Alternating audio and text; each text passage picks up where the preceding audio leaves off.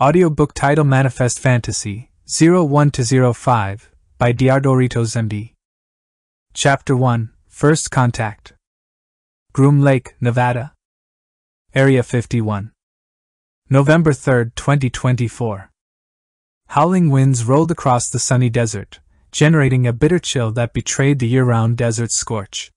Uniformed personnel hastened to secure hangar doors, a bulwark against the assault of the sand, while shutdowns were initiated across the base to safeguard the sensitive equipment that resided within.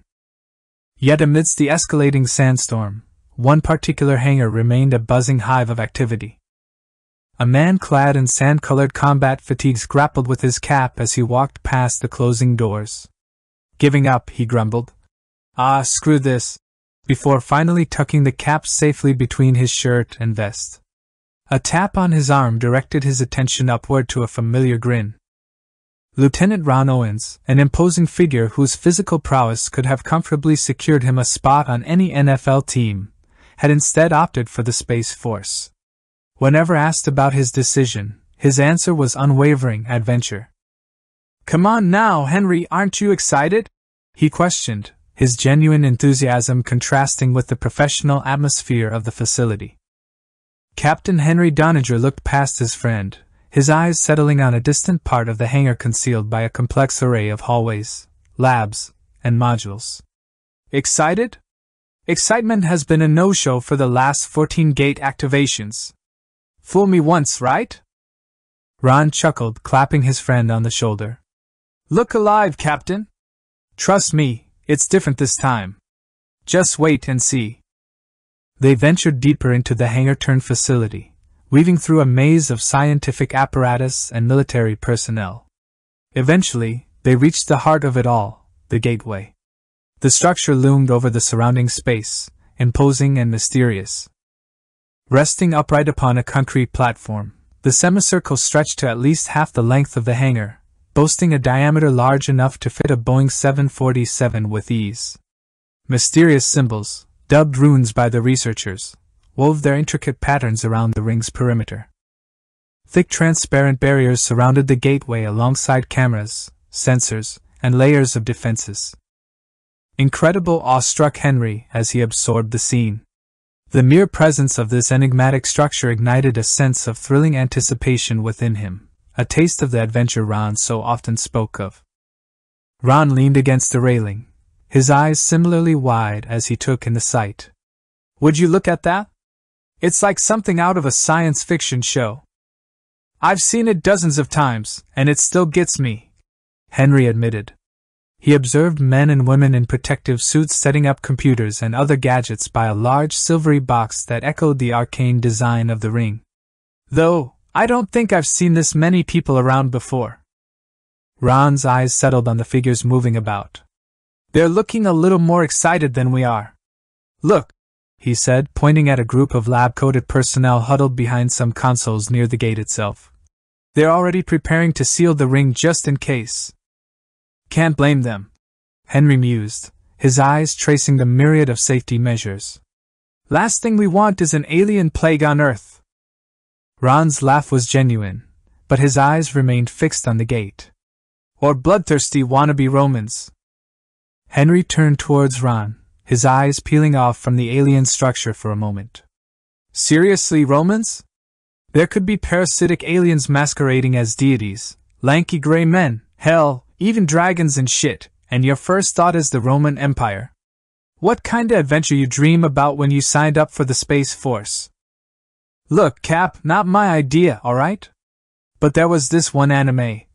He paused for a moment, Japanese cartoon that depicts fantasy Romans pouring out of a portal, just to get clapped by modern guns. Just a reference. Well, as long as it doesn't have any of those generic weeb harems and 500 year old teen girls, I guess I won't judge your taste.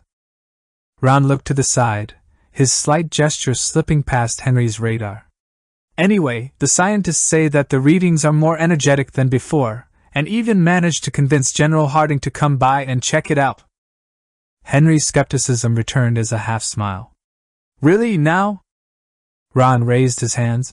Look, I've had doubts, but I think I've also had more faith. Besides, if Dr. Lamar thinks something's gonna happen for real, then it probably will. Yeah, dude, Henry sighed, conceding. I guess you do have a point there. His eyes drifted over toward a tall blonde woman in a white coat, assisting the other researchers.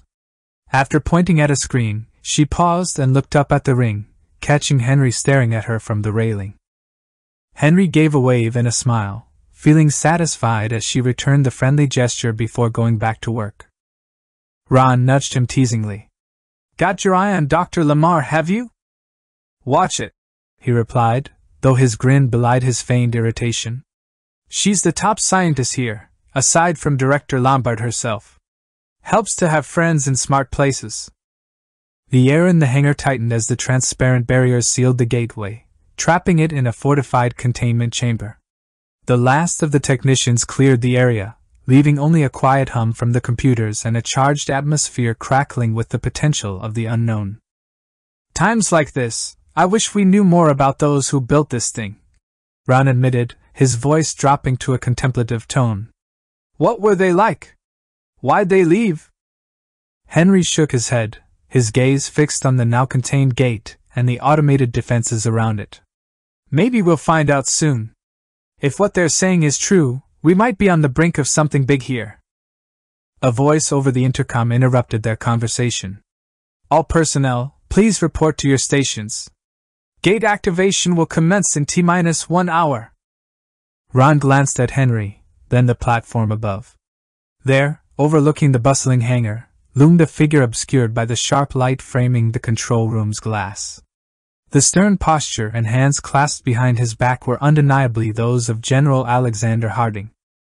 Next to him, a slender figure watched the preparations with an almost giddy expression Dr. Andromeda Lombard, the director of the Manifest project. Looks like the director's excited too, Ron observed. Henry followed Ron's gaze, then shook his head, a wry smile tugging at his lips. She may be excited, but I'll believe it when I see it. Let's get to our stations. It's almost showtime. General Harding gazed out the control room's window, eyes narrowing at the array of technical equipment and personnel in motion. Dr. Lombard joined him, tablet in hand, displaying a complex graph of energy signatures. General, the gate's energy pattern has shifted. Oscillations at frequencies never before recorded. Look at this waveform, it suggests a resonance with an external source. Harding's focus shifted to the screen, his brow furrowing at the indecipherable dance of spikes and troughs. So we've finally established a two way connection?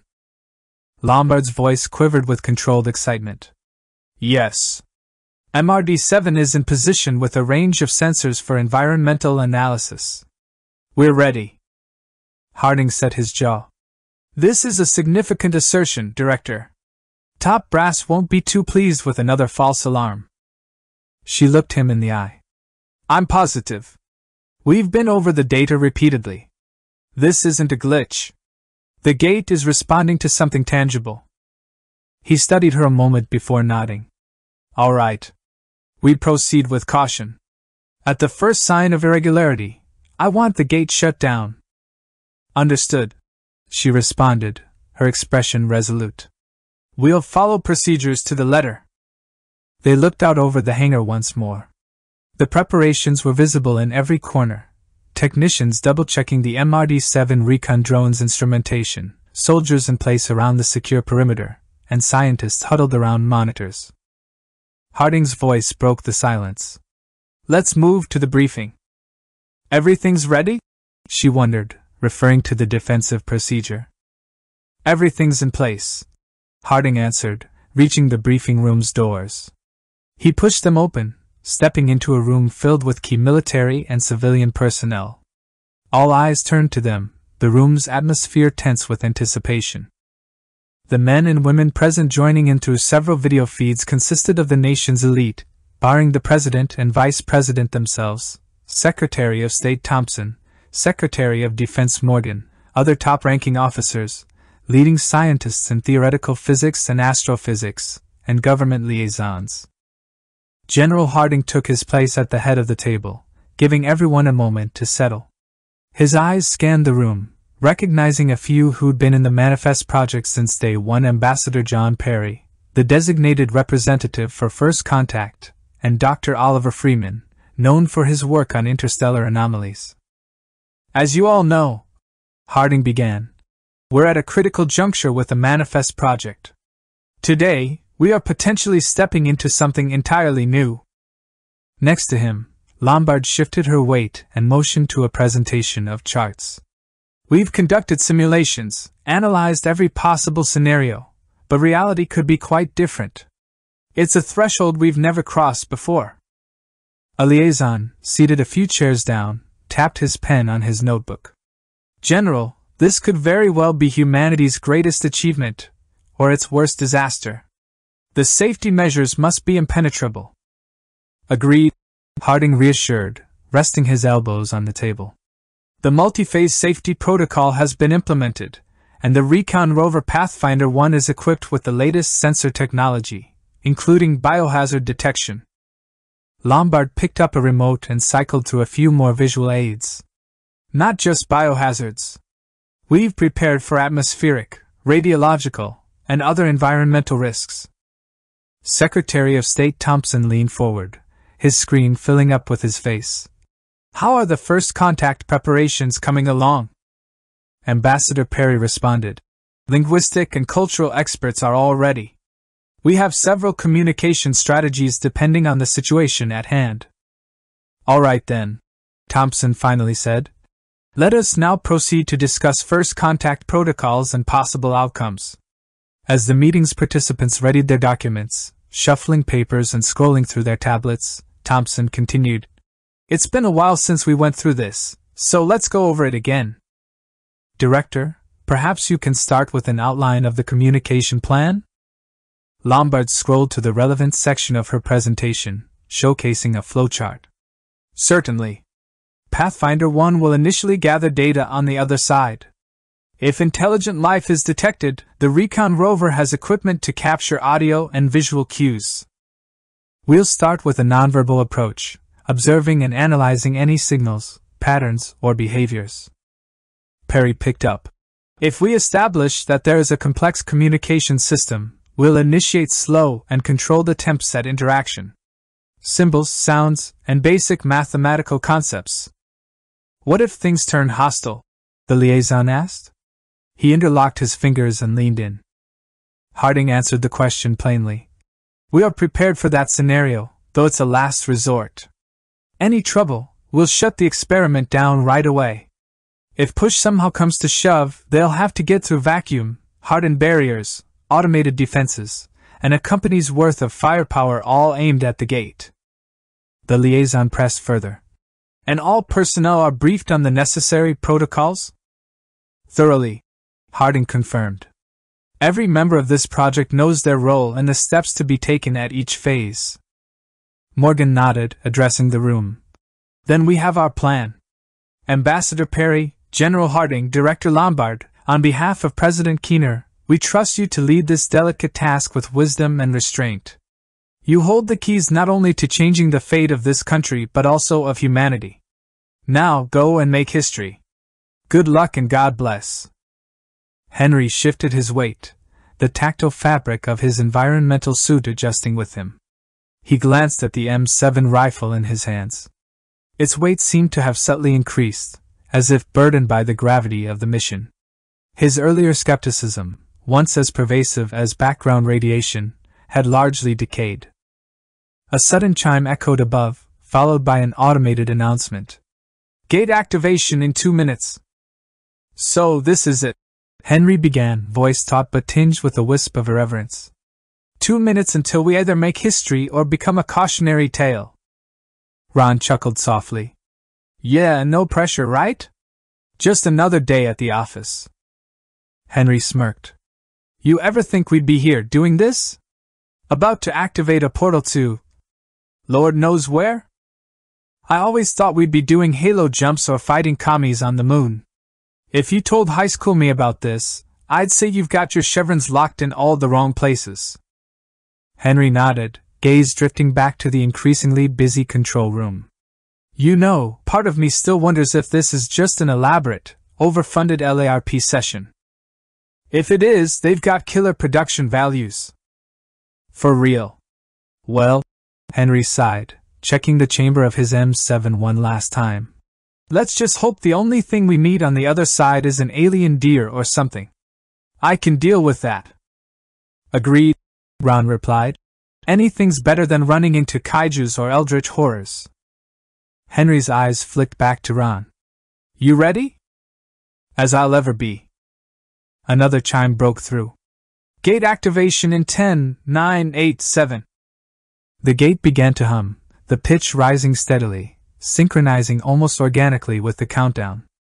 Concentric rings of light on the gate's frame began to illuminate one by one, forming a radiant cascade toward the center. Each glowing ring separated itself from the main structure, beginning to rotate in the air. Their harmonious interplay spun threads of light that zigzagged across the rings. Geometric shapes materialized pentagons, hexagons, intricate spirals as if etched by unseen hands. They moved with a curious blend of mechanical precision and organic fluidity, aligning in a sequence that seemed to straddle the realms of both precise mathematics and arcane symbols. 654 the hum escalated into a whirring resonance as the luminous rings accelerated. The inscriptions and runes transformed into flowing streams of light, the patterns locking into place as if turning the tumblers of a cosmic lock. The atmosphere itself seemed to become a denser medium, charged by an unknown energy. Three, two, one. Finally, the gate's rotating rings seemed to reach a point of equilibrium. A burst of light erupted, so radiant that Henry and Ron reflexively squinted despite the protective visors of the helmets. The clusters of brightness pulsed, sending a wave of shimmering energy toward the center of the gate. As it collided with the intricate shapes forming within the rings, a chain reaction was triggered, each arcane sigil augmented by the incoming energy, amplifying their collective potency and setting the stage for the unfolding vortex. The portal shimmered into existence, its surface an ever-changing tapestry of iridescent hues cerulean, emerald, amethyst yet all bathed in an encompassing celestial silver glow. At irregular intervals, fractal patterns flickered on its surface, reminiscent of the arcane circles, only to dissolve back into the pool of light. It was, in all senses of the word, mesmerizing. Connection is stable, no irregularities detected, Lombard announced over comms. Stand by for rover deployment. Harding's voice echoed next, his tone tinged with an undercurrent of anticipation, a rare but justifiable divergence from his usual character. Henry and Ron watched a monitor on their console that showed a live feed from the rover's cameras. Ahead, the rover lurched forward, slowly rolling into the portal. And destiny makes history, Ron muttered. For a split second, the camera feed fuzzed, a kaleidoscope of swirling colors and fluid geometries colliding with one another. It was as if the rover had plunged into a whirlpool made of liquid light and fragmented space, a sensation that defied the laws of physics Henry knew. Then, abruptly as it started, the chaos ceased and the view stabilized. The rover emerged into a landscape so picturesque it looked stolen from a painting. Rolling meadows dressed in vibrant hues of green stretched out as far as its cameras could capture, punctuated by bursts of wildflowers that bobbed gently in the wind. Distant mountains stood in the background, majestic and imposing all the same. The sky above held a clarity rarely seen on earth, a near perfect azure with wisps of cotton like clouds meandering lazily. Juxtaposed against the lush plains were ruins not of stone and mortar. Instead, they looked wrought from a metallic substance Henry couldn't identify, their surfaces adorned with intricate geometric patterns and clean lines that shimmered as if enchanted. Curves and angles harmonized in their architecture, reflecting the design of the gate. Ethereal light trails connected fragmented platforms, some of which hovered unnaturally above the ground, as if the laws of gravity were suggestions rather than rules. As the rover ventured further, its optics refocused to capture anomalous movement ahead. Emerging from the tree adjacent to the ruins, figures appeared. They were clearly prepared, their formations suggesting they'd been awaiting something, perhaps the gateway's activation. Knights stood at the ready, their armor similar to the gray of steel, but more vibrant. Their shields bore glowing intricate designs, resonating with a hidden energy. Alongside them stood individuals in robes, wielding staffs crowned with orbs or gemstones emitting a faint aura, mages. The mages murmured incantations or manipulated incantations or manipulated their artifacts, as if in tune with an energy field that the rover's sensors couldn't quantify. Clearly, they had their own procedures and protocols. The silence and anticipation in the hangar gave way to a torrent of hushed murmurs, ranging from excitement about the fantastical humans before them to disappointment from those expecting something more unique. At the forefront of this assembly was a singular figure. His blue robe was a tapestry of symbols and patterns, intricately woven in silver threads that captured and refracted light. At this side, a staff featured a central gem similar to, but grander than those of his companions. Even through the mechanical detachment of the rover's lens, it was palpable this was a man of immense influence and uncanny ability. Leadership identified, Henry stated. Go to FPCON Charlie. Harding's voice interjected, the weight of his words cutting through the awe inspiring visuals. Keep your weapons at condition 3. Unknown entities ahead. We cannot assume intent. Mr. Ambassador, stand by for first contact. All units, be prepared for contingencies. Henry's fingers danced across his console, toggling the rover's defense systems to a higher readiness level. A sidebar on the screen blinked from green to amber, aligning with the FPCON change. He glanced at Ron, who had already fine tuned the focus of the secondary cameras, prepping them for rapid movement and target acquisition. Ambassador Perry, your console is activated, Lombard announced, her voice surprisingly steady. Perry's hands hovered momentarily above the interface, as if savoring the weight of the moment. He engaged the console and scooted his seat inward, taking a deep breath. Across the room, the techs exchanged glances. They had just elevated from routine operation to an uncharted domain. Some seemed on the verge of celebratory cheers, while others remained cautious of their first glance at interstellar life. All eyes returned to the live feed plastered across various screens throughout the hangar. Proceed, Harding finally intoned. The drone's wheels crunched over the foreign yet familiar soil, inching closer to the gathering of knights and wizards. Expressions of bewilderment flickered across their features, morphing gradually into ones of intense curiosity, reverence, or fear. At the head of the group, the Archmage's eyes narrowed. His staff came up, not in a threatening manner but more like a conductor gauging the rhythm of an orchestra. He said something, perhaps a soft incantation, and the gem at the apex of his staff glowed momentarily. It was as though he were probing the drone, perhaps seeking to understand its nature or origin. Optical and thermal sensors are still nominal, a nearby tech reported. No signs of jamming or interference. Henry prepared to engage at the slightest hint of hostility, but nothing of the sort came. Instead, the knights and wizards seemed to defer to their leader, who, after a lingering gaze, lowered his staff and took a deliberate step back. It looks like they're giving us room, Henry noted, feeling the room exhale a collective sigh of withheld breath. Perry moistened his lips, his finger hovering over the console. Initiating first contact sequence.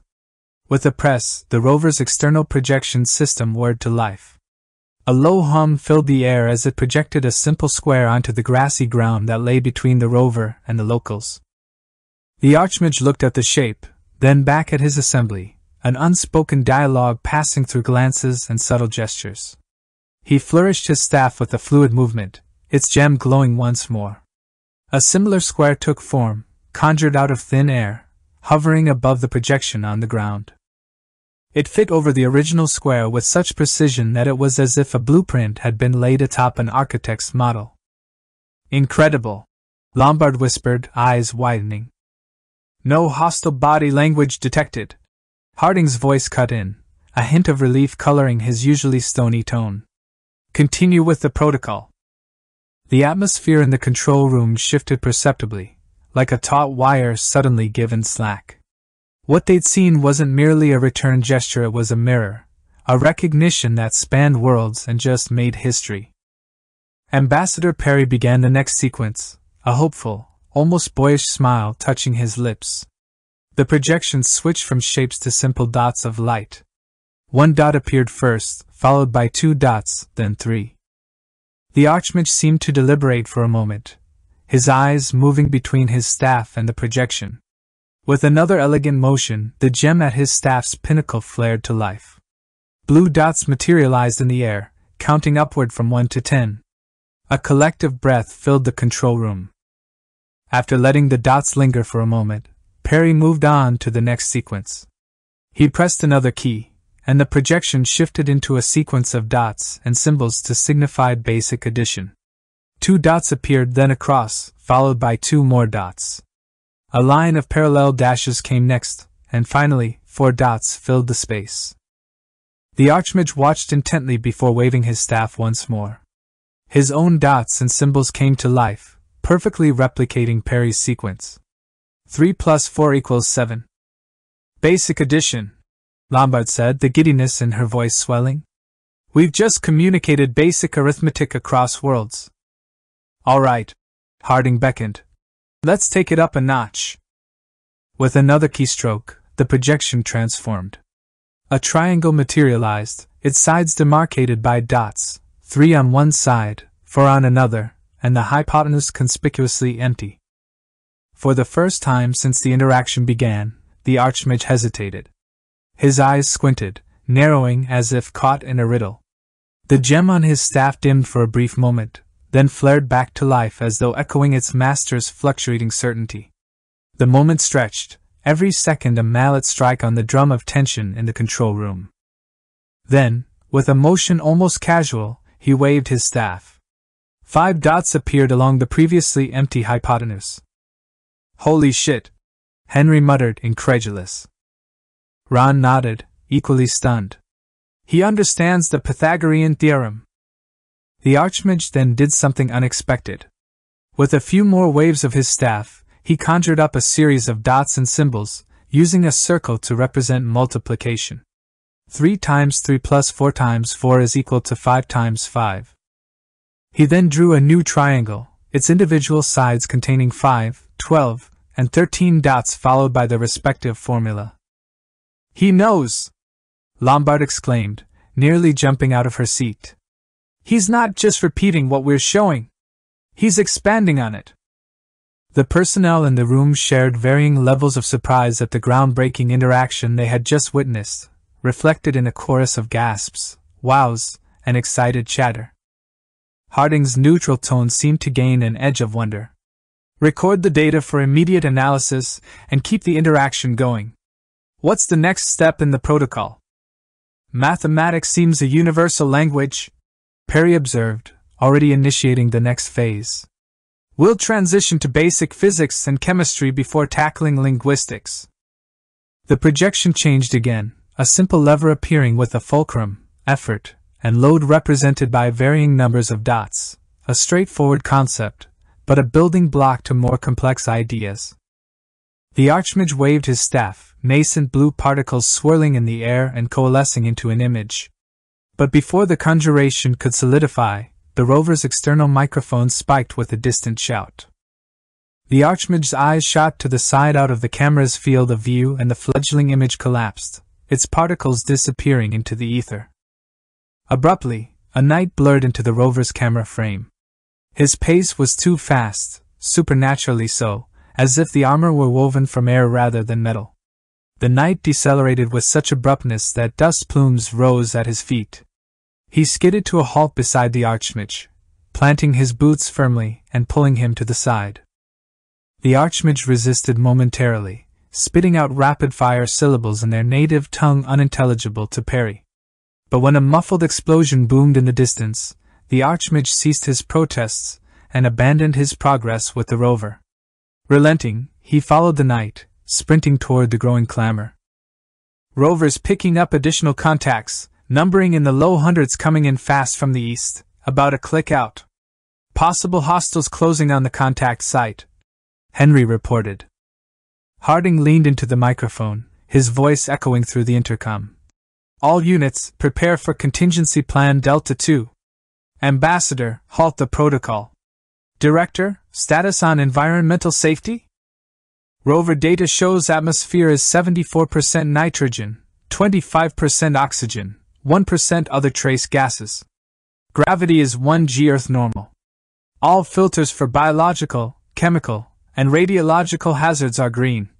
Lombard rattled off, eyes scanning the multiple data streams on her screen. Confirmed. No immediate environmental threats.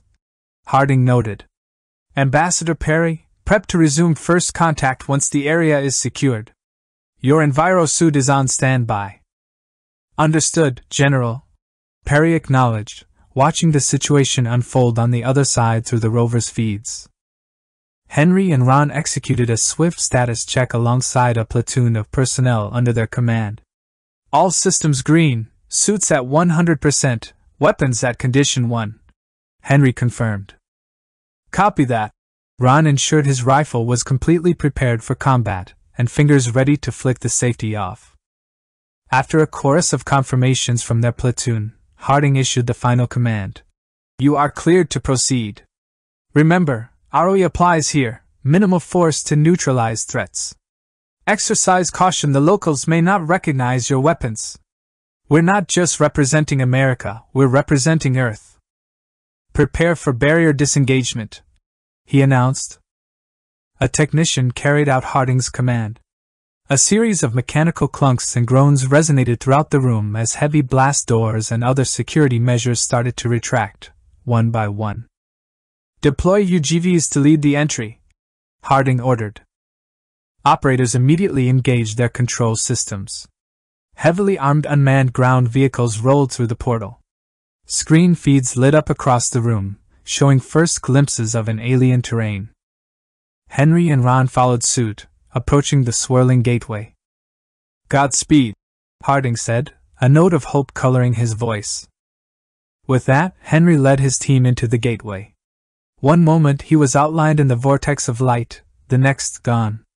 Ron and the others followed, swallowed by the unknown. Henry felt as if he had been hurled through a wall of ice cold water, every sense momentarily numbed. Just as quickly, he found himself grounded, boots hitting a stone platform leading up to the hilltop gateway. The portal's glow faded behind them, its radiance swallowed by a different sort of luminescence of serene, natural daylight. Security Platoon Zulu 9 sound off. Henry called out as he secured the perimeter. Ron rested his hands on his knees. A bit queasy, but all good. Too good to go, another member said. Three all clear. The roll call continued crisply as the members took in the scenery. Seeing it in person was a different beast compared to seeing it on the screens back at the base. On the ground, the blue skies seemed brighter, the landscape more idyllic. Juxtaposing this view was a set of sleek ruins, and something far less idyllic. Distance to the combat zone? Henry questioned, the words sounding inadequate even as he said it. About 400 meters, sir, one of the men answered. Henry zoomed in using his visor, the range finder confirming the distance. He squinted, trying to make out the individual elements of the conflict below. He saw the knights and wizards from before, facing off against some sort of creature. Some of them were agile and small, scurrying on four legs covered in greenish scales. Others were larger and muscular, taking to the sky for brief seconds with leathery wings. And then there were the big ones, towering and dragon like, circling above the mayhem, occasionally swooping down like birds of prey and laying bursts of fire. What the fuck? Henry heard one of his men mutter over comms, disbelief leaking through the helmet. Everyone had their fair share of comments, likening the scene to everything fantasy, from Dungeons and Dragons to a smattering of MMORPGs and anime. As Henry and his platoon assessed the situation, the battlefield lit up with mystical flames and roared with earth shattering cries. Knights clad in intricately designed plate armor stood their ground, almost glowing as they clashed with the scaled creatures. Around them, individuals dressed in robes conjured an array of elemental spells, offering both offense and defense in coordinated maneuvers. What in the world is happening down there? Someone carrying a grenade launcher muttered. Looks like a Renaissance fair gone horribly wrong. Yeah, except Renaissance fairs don't usually include artillery. Ron added, noticing bursts of fire arcing through the air and crashing into clusters of the smaller, greenish creatures. The explosions were followed by a chorus of what they could only describe as otherworldly shrieks. The knights were remarkable in their own right. They moved with agility on par with that of an Olympic sprinter despite their heavy armor, delivering blows that seemed unnaturally powerful, cleaving through the tough scales of the larger creatures. Some performed leaps that carried them several meters across the battlefield, landing amid a throng of enemies only to reposition swiftly and strike. Now, this is what I'd expect a Warcraft movie to look like, whispered one of the younger members of Zulu 9. Fucking crazy. The magical support was even more bewildering. From his vantage point, Henry noticed spikes of earth suddenly emerging from the ground, impaling smaller creatures. Patches of the land seemed to freeze instantaneously, causing creatures to stumble and slow. Brilliant shields of translucent energy materialized around clusters of knights, deflecting the fiery breath of the larger dragon like entities. Several mages at a distance from the main battle raised their staffs skyward. A series of brilliant flares burst into the sky, exploding into showers of sparkling light. The larger, winged creatures recoiled, some tumbling from the sky in disoriented spirals. Suddenly, the air seemed to ripple with energy. Henry watched as a handful of mages and knights converged, their hands and weapons glowing as if sharing energy. What happened next was straight out of a legend. A vortex of fire and air, a swirling tornado of flames, erupted from the gathered group, surging forward to consume dozens of the scaled creatures in its path. Despite the grand displays of magical and martial prowess, the monstrous horde seemed largely unaffected. It was clear that the knights and wizards were faltering, the beasts winning this battle of attrition. Henry broke their trance. Alright, Zulu 9, we're looking at real people, yeah, okay, and real monsters down there. The entities down there resemble knights and wizards, but under CONPLAN Delta 2, they qualify as diplomatic personnel. Our mandate is to protect them and offer tactical assistance to stabilize the situation. They may react with hostility, sir. How are we supposed to communicate? Someone asked. We've got our own universal language, firepower, and backup. Henry's confident reply came. We're going to get down there, assist them, and hope to God they're smart enough to realize we're friendlies. No offensive actions against anything human shaped or resembling those knights and wizards unless they fire first. Copy delineating friend from foe based on visual parameters, another man said, relaying the information back to the drone operators. And let's get the rover active, Henry added. They didn't attack it before. Maybe seeing it fighting alongside us will hammer home the point that we're allies. The rover joined them in response, small turrets on its chassis prepared to fire. The UGVs took flanking positions, their weapons systems armed but holding fire. The rover lumbered ahead of them, its armaments trained on advancing beasts that broke away from the main horde.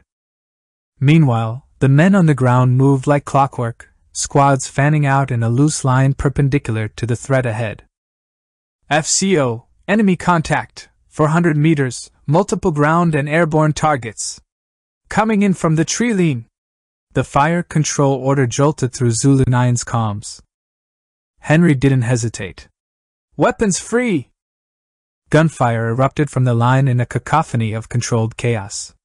As Henry pulled the trigger, the rifle recoiled in his arms, each 6.8 mm round whizzing through the air and finding its mark among the charging, scaled creatures. The effects of the projectiles were immediate and destructive, the hides and scales not meant to withstand anything stronger than arrows.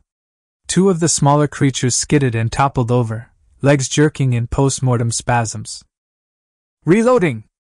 Henry's shout was almost drowned out by the continuous rattle of machine guns and the deeper booms of the UGV's autocannons. He ejected the spent magazine and slammed a fresh one in, the metallic clink echoing in the air as he chambered the first round. The UGVs contributed more than their fair share to the cacophony. Their 30mm autocannons roared, each explosive round impacting the field with ferocity, turning earth and creature alike into a mist of blood and soil. Alongside this mechanized onslaught, the platoon's machine gunners set their M250s to work, sending a torrent of lead into the mass of attackers. The machine guns fired nonstop, their barrels growing hot as they sent a relentless stream of bullets at the mass of enemies. Snipers, focus on the larger ones. Those things look like pack leaders.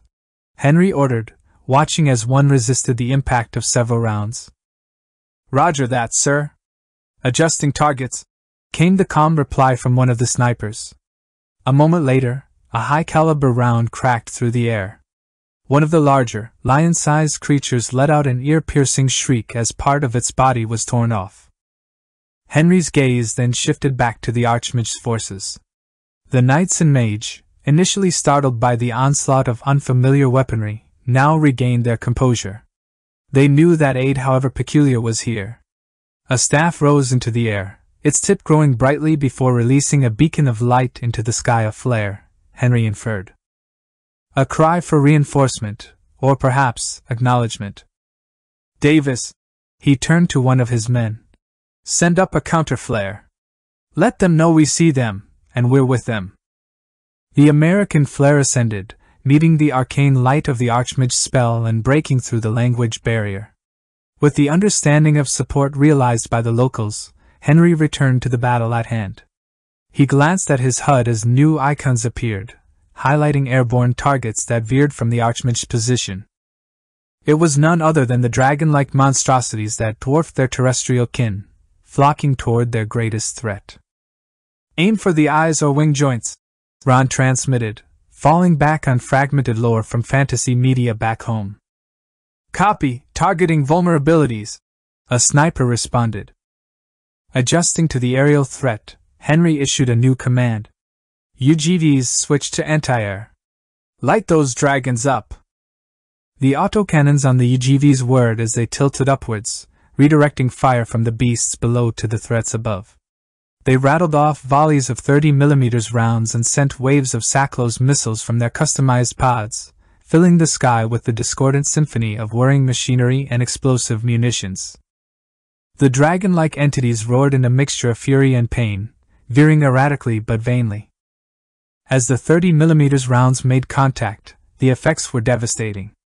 The dragons, or whatever they were, wailed in fury and agony, their roars piercing even the clamor of machinery and explosions.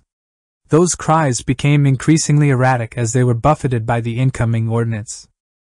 Any magical barriers or scales that once shielded them rapidly disintegrated under the barrage. Raw, unprotected flesh was laid bare, torn open by each new round and missile. One beast found its wing torn off by a direct missile hit, the resulting imbalance sending it tumbling out of the sky like a faltering kite. Another took a missile straight to its midsection, resulting in a gut wrenching fireball that showered its kin below with viscera. The overkill was evident. These were weapons designed for armored vehicles and aircraft, not creatures of myth and scale. Henry watched as the tide finally turned. The smaller creatures, many no larger than wolves but deadlier in their own rights, halted their advance. What had been a wave of malevolence now fractured into a scattered, disorderly retreat. Like water pulled by an unseen force, they ebbed away, retreating into the dark embrace of the surrounding forests. Cease fire, Henry finally ordered, his voice edged with caution. Zulu 9, prepare for the next phase. A subtle release of tension flowed through Henry's muscles. The first critical phase was over. They had successfully completed the directives of Contingency Plan Delta 2 and protected the Archmage's men. His gaze shifted to the Archmage and his cadre, who were staring back with a range of emotions awe, relief, confusion, and suspicion. Among them, the Archmage stepped forward, as if ready to begin talks. It was one thing to repel an enemy attack, it was another to navigate this uncharted social terrain. With a hand signal, Henry motioned for his men to regroup before climbing onto the rover. With a smooth hum, they descended the hill toward the waiting Archmage. As the rover came to a gentle stop, Henry disembarked. He walked up to the Archmage, the servos and his envirosuit whirring faintly. The fine details seemed to grow louder. He was acutely aware of the weight of his own gear, the rifle slung across his chest, and the numerous eyes both familiar and foreign watching him. A blend of excitement, trepidation, and pride swelled within him. Here he was, at the threshold of Earth's first interstellar contact. The Archmage shared a glance with his knights and mages, giving a subtle nod. The staffs dimmed as their arcane energy disappeared into the air, and the knights returned their swords to their scabbards with a synchronized metallic slide. The Archmage then extended his staff toward the earth, tracing two identical rune laden circles on the ground. He stepped into one of them and made a gesture toward the vacant one, eyes locking onto Henry. His earpiece vibrated. Captain, what's your status? Harding asked. We saw the locals lower their weapons. Sir, first contact remains non hostile so far, Henry reported, keeping his eyes on the Archmage. He's created some kind of red magic circle. Looks like an invitation or a test. Could be their method of communication or some ritual for trust. Harding hesitated for a brief moment. Standard protocol recommends we wait for Dr. Anderson and the linguistic team to take the lead, but. Director Lombard interjected. This could be an unprecedented opportunity for diplomatic relations, General, a groundbreaking moment for humanity. Their peaceful reaction to our rover, especially after it aided them in battle, indicates that we might be missing an invaluable diplomatic opportunity if we hesitate now. General Harding sighed audibly. We should err on the side of caution, but you're right. The fact they accepted our aid and lowered their weapons does speak to potential friendliness. Ambassador Perry, who had been silently listening, finally spoke. What's the risk benefit here, General? It wouldn't make sense for the locals to backstab us after all that's happened. Moreover, with Captain Doniger having actively participated in combat, he has most likely gained a level of standing among them. Cultural norms could make it critical for him to make the first move. Wouldn't you normally be the one to initiate first contact? Harding asked, directing the question to the ambassador. In any other circumstance, yes, Perry responded. But Henry has the situational awareness here. And I don't want to risk ruining this by stepping in and possibly creating a cultural faux pas, like appearing to withdraw our champion at a crucial moment. Captain Doniger has discretionary authority as far as I'm concerned. I agree with the ambassador, Lombard said. Harding relented. Very well. Captain, you've been given discretionary authority. It's your call. Henry looked at the Archmage's earnest face and the red magical circle beneath him. Then he glanced back at his men, silhouetted against the iridescent light show behind them. The call was his, and now the weight of the world fell upon his shoulders. One small step, Ron murmured, voicing the opening phrase of a quote that had once bridged another frontier. Henry grinned, feeling the weight and wonder of the moment. One giant leap, he replied, stepping into the circle. Chapter 2 Gera Vicinity of the Gateway, Unknown Planet. November 3, 2024. As Henry stepped into the circle, electricity seemed to dance along his skin. The sensation faded as red hues dimmed, the circles disappearing into the air. He locked eyes with the robed figure, whose previously taut gaze softened. The man's smile seemed to border more on excited curiosity rather than just plain friendliness. Ah, your timely arrival, and the strength you and your companions displayed against those malevolent beasts, these are blessings for which I must express gratitude. The Archmage began. His voice carried a slightly lilting tone, words far too articulate, and surprisingly, in English. Henry's eyebrows twitched slightly in surprise. He was familiar with the concept of universal translators from various shows. Evidently, the world beyond the gate was no stranger to it. This magic you've cast, it allows us to understand each other's speech. The Archmage's eyes shimmered with mirth. Indeed, you have activated the circle of understanding. Do you find this agreeable? Henry relaxed. It's surprising but very useful. Before we proceed, did any of your men sustain injuries during the attack? We have medics on standby who can assist. The Archmage glanced back. Thankfully, the majority are unharmed and the rest are already under the care of our healers, but your offer is appreciated. And so, may I know who has graced us with such timely intervention? Henry considered shaking the Archmage's hand before settling on a quick salute. I'm Captain Henry Doniger from the United States of America, planet Earth. We come in peace. He cringed as the cliched words rolled off his tongue, but he had to admit, it did sound fitting. A captain a rank of weight and responsibility, no doubt. I am Kelmuthus Adheles of the Cenaran Federation, of the realm of Gera. I am an archmage and scholar amidst these ancient ruins, and perhaps, today, a herald to a new epoch.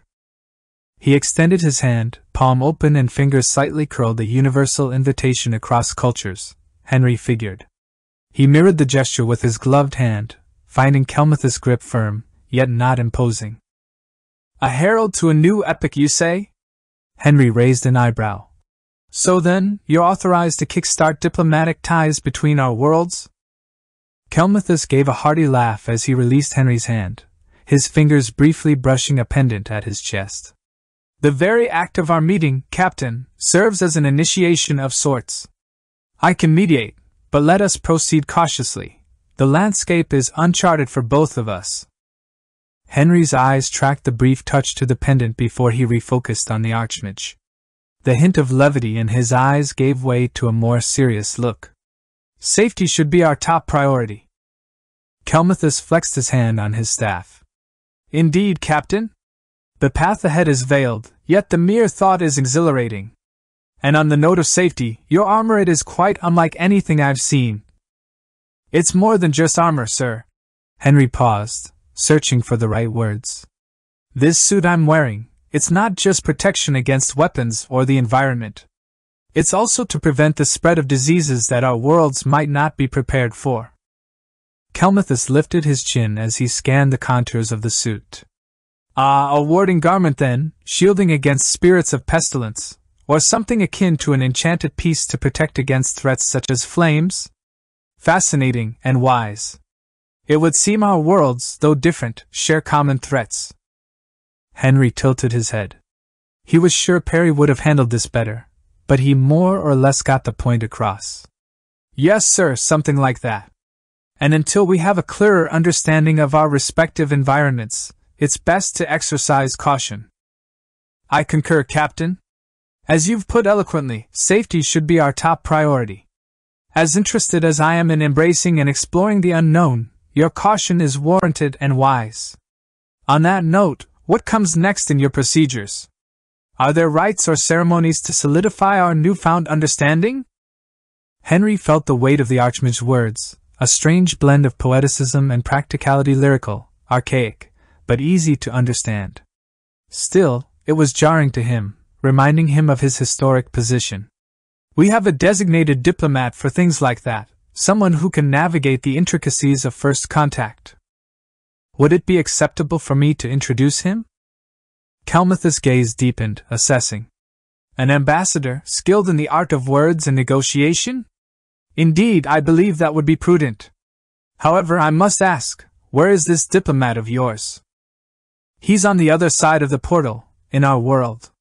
He and our leaders are observing and listening to our conversation, ensuring we move forward with the best intentions, Henry explained, gesturing toward the devices within his helmet. The Archmage's eyebrows rose in mild surprise. An impressive feat of artifice, scrying through contraptions, he murmured. So even though we stand in a different realm, they listen and advise from the shadows? Henry gave a slight chuckle. Not exactly from the shadows. Think of it like scrying, to see what's ahead of you in a dark dungeon. Kelmuthus nodded. Very well. Let us hear from this ambassador. Henry breathed an internal sigh of relief. He knew little about the jargon of fantasy that was Ron's forte. Yet, it seemed the Archmage standing in front of him understood his message. Mr. Ambassador, I believe it would be best if you made a personal appearance on this side. A pause ensued before Perry's voice responded, Understood, Captain? Give me a few moments to make preparations and I'll cross over. Maintain your diplomatic etiquette. Take the time you need, Henry replied, looking back at Kelmuthus. The ambassador will be joining us in person shortly. I hope this format will be more conducive to our discussions. Kelmuthus glanced toward the portal with a sense of wonder and anticipation.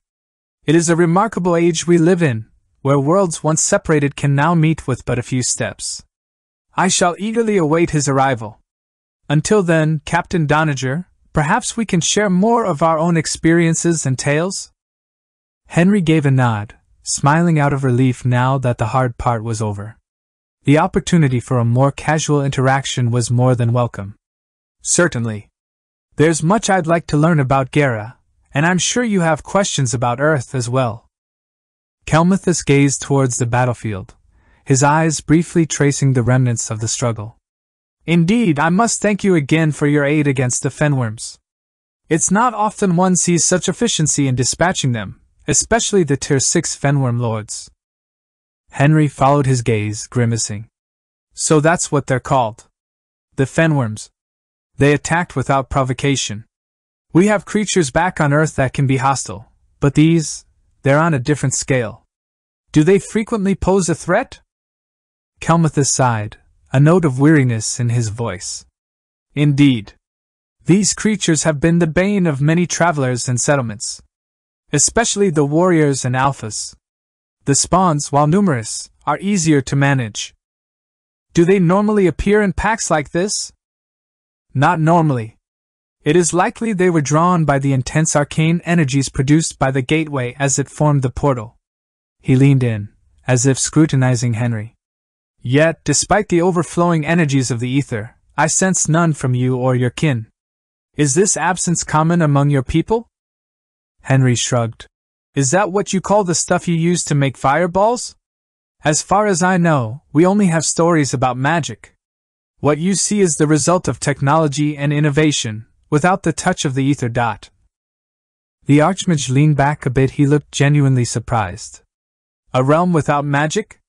How wondrous and strange that must be. And yet you've achieved so much. In the absence of the ether, what fuels these machinations? Henry hesitated, searching for a simple explanation. Energy. Derived from various resources on our planet. It's a transformation of potential to motion. Kelmuthus nodded slowly. Much like the conversion of raw magical energy into a tangible spell. Or perhaps, if my understanding aligns with yours, it parallels the new steam engines crafted by one of the industrious dwarven nations.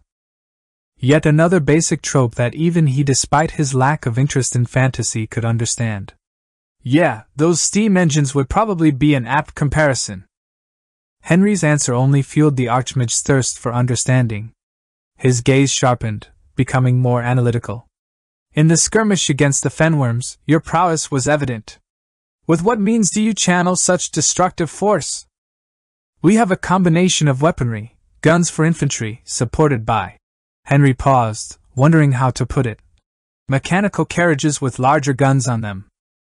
Kelmuthus leaned in, his demeanor becoming more like an ecstatic researcher than that of a distinguished archmage. These guns you speak of, do they launch metal bolts? Much like a more advanced arquebus? Henry pondered for a moment, drawing from his limited knowledge of the topic. Yes, similar to an arquebus but more refined.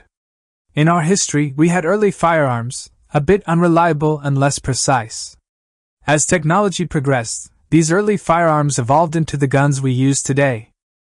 A path of evolution dictated by necessity and environment. A world of endless curiosities. Your tales would be cherished among our scholars. Henry smiled. Hopefully, there'll be ample opportunity for exchanges in the future. Speaking of which, the envoy I mentioned earlier, Ambassador Perry, should be joining us momentarily. He's better versed in navigating diplomatic waters. As if on cue, a glimmer from the portal caught their attention. Emerging from the shimmering gateway and descending the hill was a figure, distinguished not just in gait and demeanor, but also in attire. While all suits shared the same pristine white base, this new arrival's suit bore elegant gold trim and a streamlined appearance, contrasting the muted gray markings and bulky attachments on those of Henry and his team. Both suits displayed the star spangled banner of their homeland, but the diplomat's suit also showcased an additional emblem a silver dove, wings outstretched, positioned above the flag. Kelmuthus observed the approaching figure with interest. Ah, the promised envoy.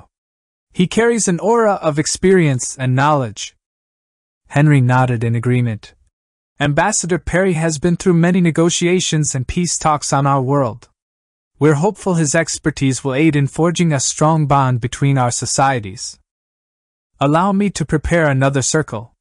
Kelmuthus tightened his grip around his staff, its ornate gem pulsing with a gentle light. Drawing the staff close to the ground, the Archmage began to mutter in a cadence, the words unfamiliar despite the translation magic. With each word, the staff's glow intensified, and the ground before him began to shimmer. The patterns danced and interwove, finally settling into a distinct red circle similar to the one Henry had stepped into. He exhaled slowly, the energy from the staff receding. It is complete.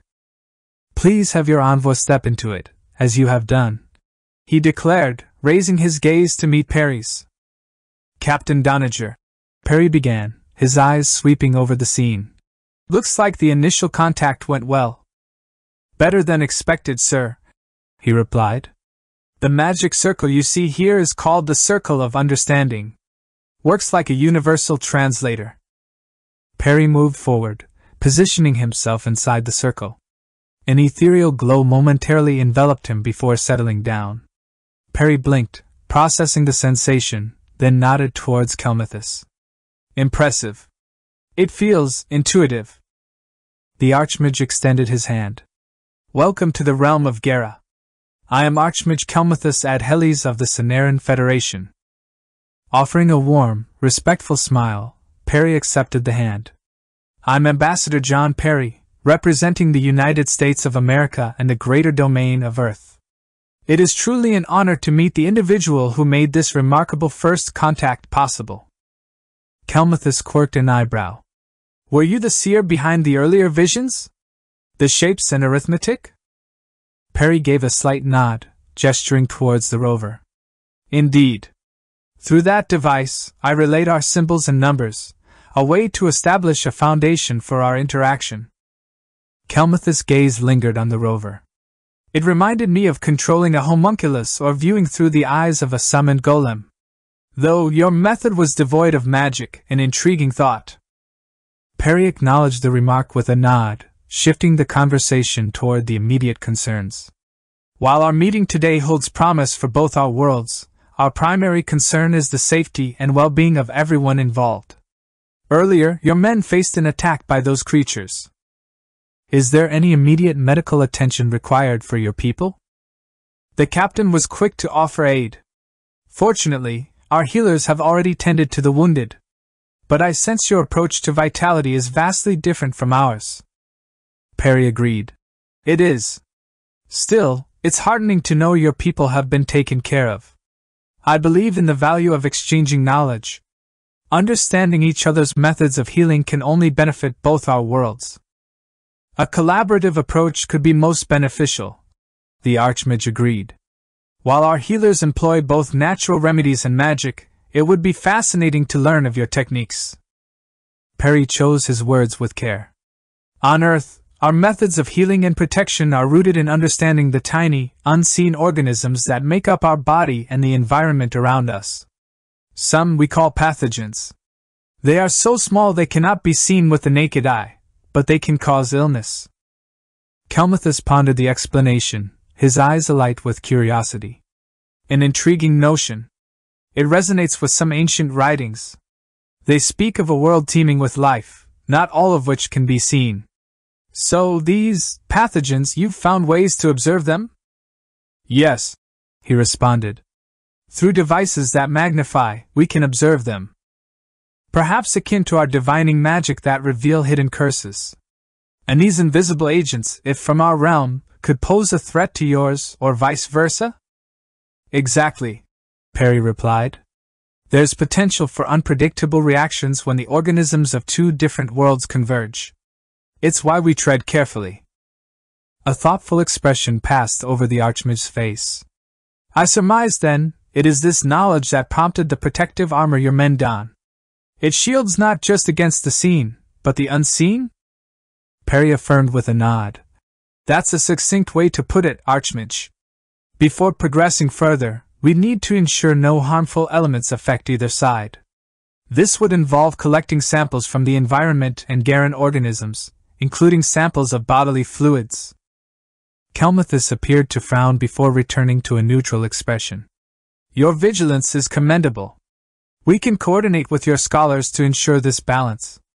While magic can detect and deter many impurities, melding our methods with your unique approach will make our joint efforts more robust. Perry showed no sign of his internal relief. It's heartening to find understanding and cooperation in such an alien landscape.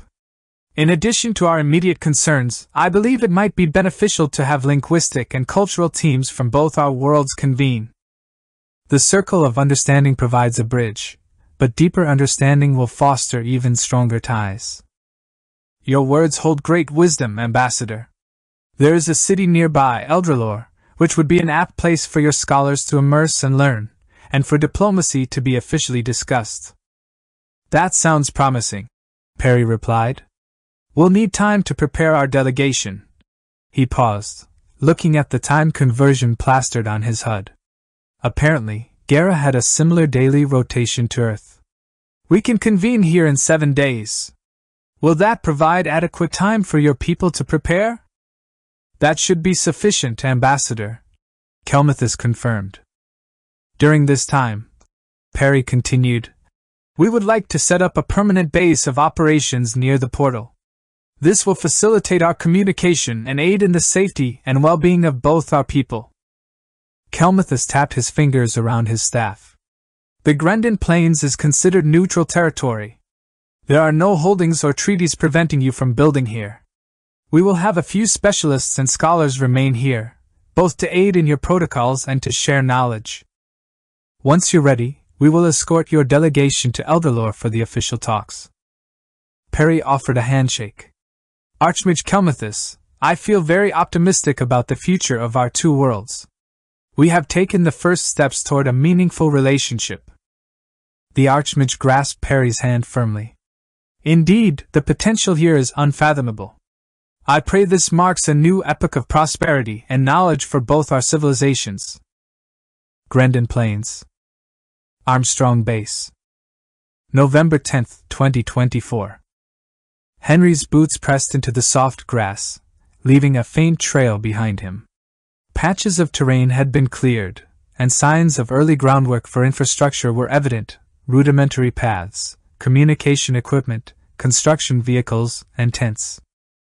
Over the last week, Remains from the battle against the Fenworms were cleared out and prefabricated structures had sprung up around the portal's perimeter, with a semblance of order now overtaking what was once unknown wilderness. The sound of machinery in the distance added a constant backdrop as he approached the prefab command center. By the gateway, a handful of mages prepared translation circles for new arrivals. Stepping inside the metal structure, he was immediately met by the hushed buzz of conversation. The round table in the center was covered in Sonaran maps of the region and various reports. While there weren't any satellite images, drones had done their part in capturing aerial views of the terrain leading to Eldralore. Nearby, a screen displayed an interactive map generated from the reconnaissance data, giving a bird's eye view of the convoy route. General Harding stood at the head of the table, his sharp gaze analyzing the paths ahead. Perry and Lombard were already seated, chatting with other personnel and shuffling through piles of reports. As Henry took his place, one of Lombard's assistants handed one such report to him. He skimmed it, noting the positive results regarding biological compatibility. Clearing his throat, General Harding began. Thank you all for gathering. We've had a week in Gera, a week of adapting, of coordinating, and of laying down our first footprints on this foreign soil. Reports are promising. No harmful pathogens to speak of, no errant weather patterns to worry over, and our personnel have been updating protocols based on local flora and fauna interactions. Henry nodded, recalling the meticulous checks he underwent after every external patrol. It was reassuring to know that Gera's environment was, at the very least, not overtly hostile. Ambassador Perry took the cue.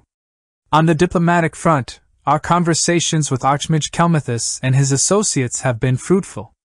We've established primary terms of engagement, and the Cenarians have been more than cooperative. General Harding leaned in slightly, placing both hands on the table. We've been fortunate so far. The Cenarians have been invaluable in teaching us about the local wildlife and guiding our recon. But here's the hard truth. While we've chased away most of the hostile fauna and secured a clear path to Eldralore, there are pockets out there that are unpredictable. Henry studied the route highlighted on a screen ahead. A network of blue lines signified rivers, and patches of green hinted at forests. But what caught his attention were the gray symbols caves and ruins. Any significance to these? A voice beside him chimed in. It was Kelmuthus, wearing an attire less grand than their first meeting, but no less majestic. He also wore a plate carrier vest under his robes, a sight that continued to jar Henry. These are local cave systems and forgotten ruins. They might appear dormant from the surface, but they're historically known to be hideouts for bandits, brigands, and other miscreants, not to mention the presence of beasts that claim them as lairs. Henry's grip tightened on a new report. He'd seen what these bandits could do during their attacks on merchant convoys. We've been using the intel provided by our Cenarian counterparts throughout the week to shape our strategy. With everything we've gathered, are there any last minute adjustments or recommendations you'd advise? General Harding, after a brief moment of contemplation, replied Our drills and simulations incorporated everything we've received. Today, we finalize and fine tune these plans based on real time conditions and any additional Cenarian input. We need to ensure all teams are synchronized and ready for contingencies. As the words left the general's mouth, a junior officer rushed into the tent, holding up a tablet displaying a drone feed. General, we picked up minor activity roughly 10 miles ahead on the route to Eldralore, he remarked, tapping on the screen to expand the drone feed. It showed an overhead view of a meadow. Faint wisps of smoke rose, suggesting a small campfire. From the aerial perspective, there was no discernible movement in the vicinity of the smoke, no visible figures, nor any indication of it being anything more than a solitary fire. Kelmuthus examined the feed. That's close to the footpath used by adventurers from Eldralore seeking ancient relics in the nearby ruins. It's not unusual for them to set up camp. They usually travel in small parties. Hmm. Harding crossed his arms as he considered the new information. We'll make some adjustments. Let's include an extra UGV and have an armed drone provide escort above the convoy for increased visibility and rapid response. Kelmuthus inclined his head. Considering the complexities we might face ahead, I suggest being present in the MRAP alongside Ambassador Perry and Captain Doniger. I can help facilitate dialogue with my countrymen, and my knowledge might provide additional safeguards against magical threats we might encounter. Henry exchanged a glance with Perry, who subtly nodded in agreement. Having an expert in magic sounds like a logical measure, Henry remarked. Very well. Before we finalize the formation, let's introduce you to some key members who will be accompanying this mission. They're specialists, each chosen for their unique expertise, ensuring our convoy's security and the success of this delegation and beyond. The general got up from the table and walked toward the exit. They made their way toward a garage, where a group of vehicles and a line of individuals in varying uniforms awaited them. He gestured towards the first figure in line. Many of you already know Lieutenant Ron Owens. He was among the first to step into this world, guiding our initial exploration. As Owens gave a curt nod, the general's hand moved to the next two figures. Isaac Yen and Ryan Hayes, specialists sent from Langley. If anyone can help us understand the complexities of Garen society, it's them. Both Yen and Hayes gave casual nods, their reactions betraying the cryptic introduction provided by General Harding. Next, Harding continued, his finger pointing to a man who seemed like a middle aged college professor yet carried himself like a trained soldier. Is Dr. Victor Anderson. His name might ring a bell for those who have been with the Manifest Project for a while. He was instrumental in decoding some of the enigmatic artifacts, building the groundwork for the gate activation. He'll be accompanying the delegation to study Sonaran culture up close.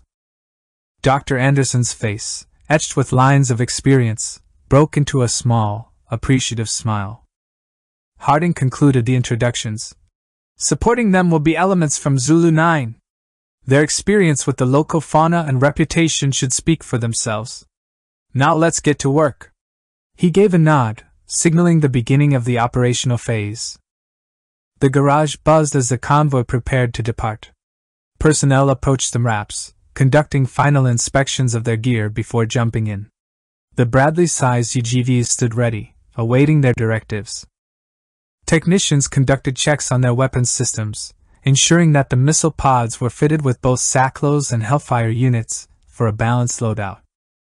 Kelmuthus, sharing a few last words with Perry, gestured towards a group of Sonarans climbing into carriages led by lizard like pack animals. Our Dradix are prepared, and my knights stand ready. Together we ensure a secure passage. With measured steps, he headed into the lead MRAP. Henry followed behind Kelmuthus, claiming shotgun as he sat next to Ron, who was already seated at the wheel. All set? With a thumbs up, Ron responded. Systems are green, Captain. Just waiting for the Sonarans. The Dradix ahead let out a strange cry, a mix between a roar and a neigh before trotting forward and leaving the confines of the rudimentary base. The American vehicles followed closely behind, their speed limited by those of the Sonaran mounts. The outside landscape, a blend of Gera's unique but familiar flora and fauna, served as a serene backdrop to their journey. This terrain really makes me feel like I'm in one of those isekais. Ron mused, taking in the pristine European like countryside ahead. Dr. Anderson leaned back, shifting around to make space for Kelmuth's staff. I've seen a lot of great environments, but nothing quite like this. I'd say this is straight out of a Tolkien work, though the ecosystem here is mind bogglingly diverse, nothing like anything I've read so far. A bit too diverse for my liking. The wildlife is hella aggressive, Henry commented. I'd rather not have another Fenworm surprise. Kelmuthus chimed in. The scrying accomplished by your drones should still hold true. It is unlikely we will see a surprise assault on the scale of the one at the ruins. The incident there was unique. As long as we do not use mana to the extent of the artifact, we need not worry about luring beasts. Perry spoke, peeling away from the scenery at the window. We should arrange a joint training session sometime exchange some best practices. We could show you our tactics, and you could teach us how to develop magic capacity. Kelmuthus laughed before clearing his throat. Pardon me, Ambassador, but learning magic might be more of a challenge for you than you think. All inhabitants of this realm are born with some level of mana. I do not know how well our teachings and methods of training would apply to those without mana. But, I'd be curious to see one of your drones up close. Henry glanced at a screen displaying the drone's feed. That can be arranged. But right now, our focus should be on that forested region up ahead. Kelmuthus, you mentioned adventurers frequenting areas like these? Yeah, how exactly do adventurers work around here? Ron seconded Henry's question, interested more in the conversation than the road. All eyes turned, hungry for lore about this world. The Archmage chuckled, his gaze momentarily shifting to the forests outside. Ah, adventurers! Quite the diverse lot, bound by thrill and challenge. They generally operate from the cities, enrolling in guilds that assign them quests. These quests can be anything seeking ancient relics in forgotten tombs, collecting materials or herbs, handling rogue beasts that trouble villages, even assisting townsfolk with larger tasks. In return, they earn both coin and recognition, advancing through established tiers as they gain experience. Dr. Anderson adjusted a pair of glasses, his scholarly curiosity piqued. These tiers, they signify some sort of ranking system? Kelmuthus nodded. Precisely. An adventurer starts at the lower echelons, say tier 2 or 3, and as they complete quests and prove their mettle, they ascend the ranks. Achieving Tier 10 status isn't trivial, it's a testament to an adventurer's skills and renown. Most in Eldralore would accord significant respect to a high tiered adventurer, especially one who could rival a company of knights and mages. Ron smirked, glancing at the passengers behind him and then back to the road. Sounds like a fantasy MMO. He turned toward Henry. Maybe you'll finally enjoy the genre once you experience it in real life, dude. Kelmuthus raised an eyebrow. MMO? Ron attempted to explain. They're games, but simulated. He paused, searching for a way to relate the concept to the Archmage. Imagine a scrying spell that allows you to see a different realm. Within this realm, you can control a version of yourself, much like a golem. This golem like avatar can interact with others, go on quests, and face challenges, all within this fabricated world. Millions from Earth participate in these simulations at the same time, interacting with each other, but all within the safety of this make believe environment. Kelmuthus looked intrigued. A fascinating concept. So these MMOs, they allow individuals to experience adventures without real consequences? Yeah, it's a way for a lot of people to escape reality, Ron said. Kelmuthus nodded. Oh, if only we had such abilities. The perils adventurers face here are undeniably real. Forests such as the one we're approaching are rife with both treasures and threats. They tend to attract both fledgling adventurers eager for recognition and seasoned ones searching for rarer challenges. Perry interjected. Given these forests are often frequented by adventurers, how should we perceive them? Potential allies, possible threats? Kelmuthus pondered for a brief moment before responding. Likely allies. All adventurers sign contracts during the registration process. By signing, the adventurer agrees to stipulated terms, which often include clauses about the respectful treatment of locals and abiding by local laws. Violations of these contracts incur damning consequences. While there may be some unscrupulous individuals within the guild, they would never dare devolve into banditry. Most adventurers are helpful souls who would come to the aid of those in need. Huh, guess we won't have to worry about getting betrayed by party members for being useless, eh? Ron quipped.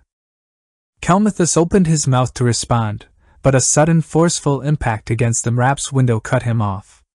An arrow, glowing with a slight luminescence, slammed into the reinforced pane and embedded itself within the layers, leaving behind a spiderweb pattern on its surface. Before anyone could react, another louder thud resonated, causing the entire vehicle to shudder. Looking ahead, they witnessed a massive boulder crashing down on one of the Sonaran carriages, splintering it under its immense weight. Almost simultaneously, the once stable ground beneath them morphed, turning into a sludgy mess that gripped the MRAP's tires and tugged at the Sonaran Dradix. The dense, oppressive green of the forest came alive with enemy movement, forming a claustrophobic corridor of potential threats on all sides. From the treeline, a blazing streak of light unmistakably a fireball hurtled toward one of the UGVs. Upon impact, it exploded with a force reminiscent of a WW2 era bazooka. The flames and smoke danced around the UGV, the sheer force of the blast creating a concussive wave. However, the vehicle's armor held, showing damage no more superficial than some scorch marks. Arrows and sharp stones flew at the convoy as earthen spikes erupted from the ground. But against the American vehicles, these attacks left mere dents and marks. The sudden impacts jolted everyone inside. As Ron repositioned the vehicle in a staggered defensive formation alongside the other MRAPs and UGVs, Henry immediately reached for the doors and barked orders. Ambush, 3 and 9. Dismount and take cover. Bandits! Kelmuthus exclaimed. Prepare yourselves! A whistling arrow barely had time to embed itself into the MRAP's armored skin before Henry was in motion. Perry Anderson, stay close. Ron, stick with the knights. Door latch released, rifle up, boots hitting dirt. The transition was seamless. He pressed his back to the MRAP's thick tire, eyes darting through the scope. Before Henry could even shout an order, Zulu 9 was already laying down fire at the tree leans. No pause, no hesitation, just the guttural thump of .50 caliber turrets alongside 30mm autocannons and the strident echoes of rifles firing in unison. Accompanying it was a translucent barrier of magical energy, hastily conjured by the Sonaran Knights as they filled in the gaps between and beside the MRAPs. Tapping the trigger, Henry's XM7 spat 6.8 mm at silhouettes darting through the trees, each shot a calculated elimination. Perry and Anderson hunkered behind another MRAP, flanked by Ron and a duo of Sonaran Knights. In seconds, the forest edge had been transformed into a graveyard of felled bandits and smoldering trees. Without missing a beat, Henry snatched his radio. Pioneer to Armstrong, Tango Mike. Magic users confirmed, heavy contact. Uploading coordinates. 10 mics from Eldralore. Request immediate QRF. A voice on the other end crackled to life. Armstrong to Pioneer, copy all. QRF spinning up. ETA 20 minutes. Henry tucked the radio back, his gaze flitting between the forest line and his HUD where the coordinates blinked, uploaded. Armstrong, Pioneer copies. Make it quick, he responded. His eyes narrowed as he reviewed his team's positions, a tactical overlay alive on his visor. Everyone was holding, but 20 minutes was a lifetime in a firefight. A guttural scream echoed in the forest, cut short by the percussive drum of a .50 cal Henry continued to sweep the burning greenery for more signs of enemy activity, catching a glimpse of a red circle hovering in the air. Mage, two o'clock by the large boulder, fifty meters. A heartbeat later, the nearby thud of an anti-materiel rifle followed. One mage crumbled, a plume of red mist replacing where his head and neck had been. Another recoiled, clutching a bullet wound in his shoulder, his incantation faltering. Nice shot, Hayes, Henry praised, eyes still trained for the next threat. Knights, hold position. Their magic's faltering. Suddenly, he heard a scream of agony beside him. Man down! Medic on me! Covering fire! Henry barked. The downed soldier was quickly dragged back by Yen and Hayes, laying him behind the safety of an MRAP, his arm bleeding profusely. Yen was on him like a shadow, hastily unzipping his medical bag. Hang in there, Harris, he muttered, prepping a morphine auto-injector and jabbing it into the man. You'll feel a little sting, he said, but the soldier hardly seemed to notice. His face was a contorted mask of pain and adrenaline. After quickly cleaning the wound with antiseptic wipes, Yen looked up. He's ready for you. A Sonaran knight stepped forward. Incantations spilled from his lips as he chanted about vitality and life. His hands, hovering over the wounded arm, began to glow with a soft yellow aura. A wave of light washed over Harris, the glow intensifying around the wound. The skin seemed to knit itself back together, the torn muscle fibers rejoining. A war cry tore Henry's attention away from the miracle. Silhouettes of warriors, moving with inhuman speed, dashed from the trees as the rain of arrows and spells died down. Despite their enhancements, their swift advance was cut short.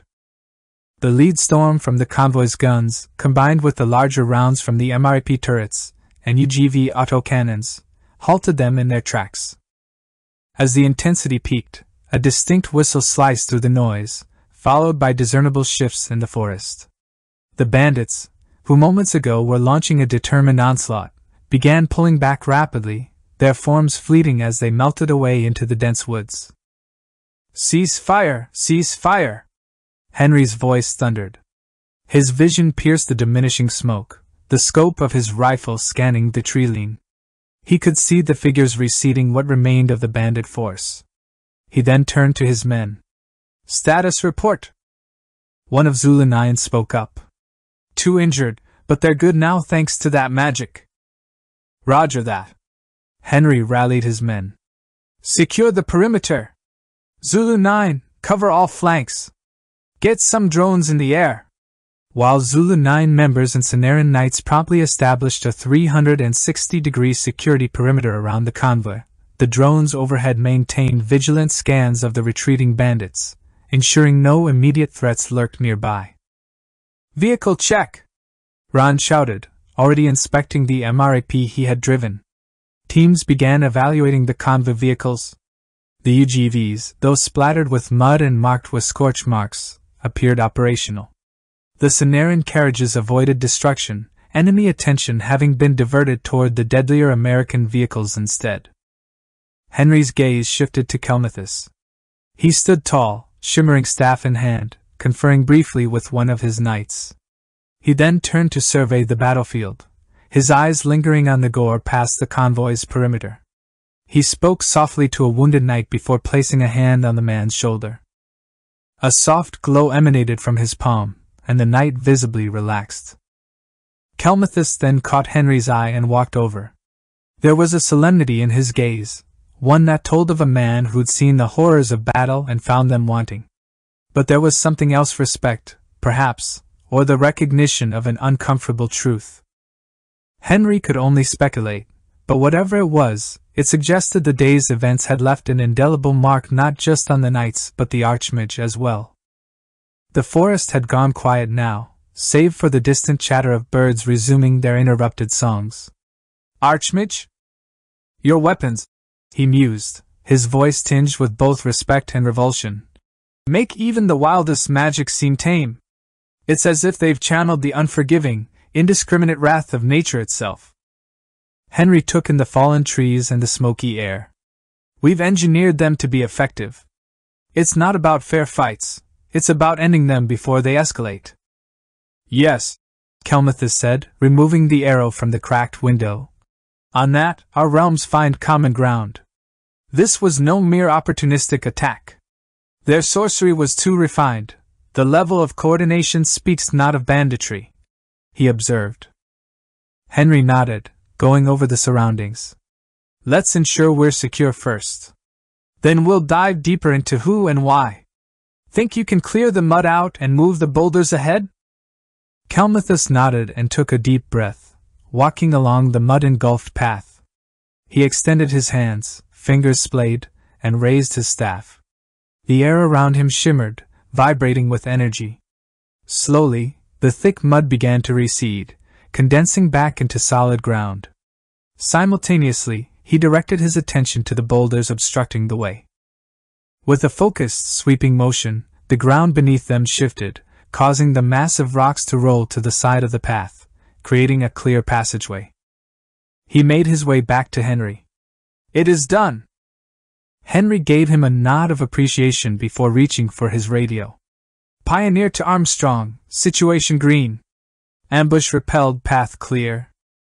A brief silence ensued before a response came through. Armstrong copies Pioneer. CASREPs? For minor injuries, equipment operational. Proceeding to Eldralore. Copy that, Pioneer. Continue to update. QRF en route. ETA 2 minutes.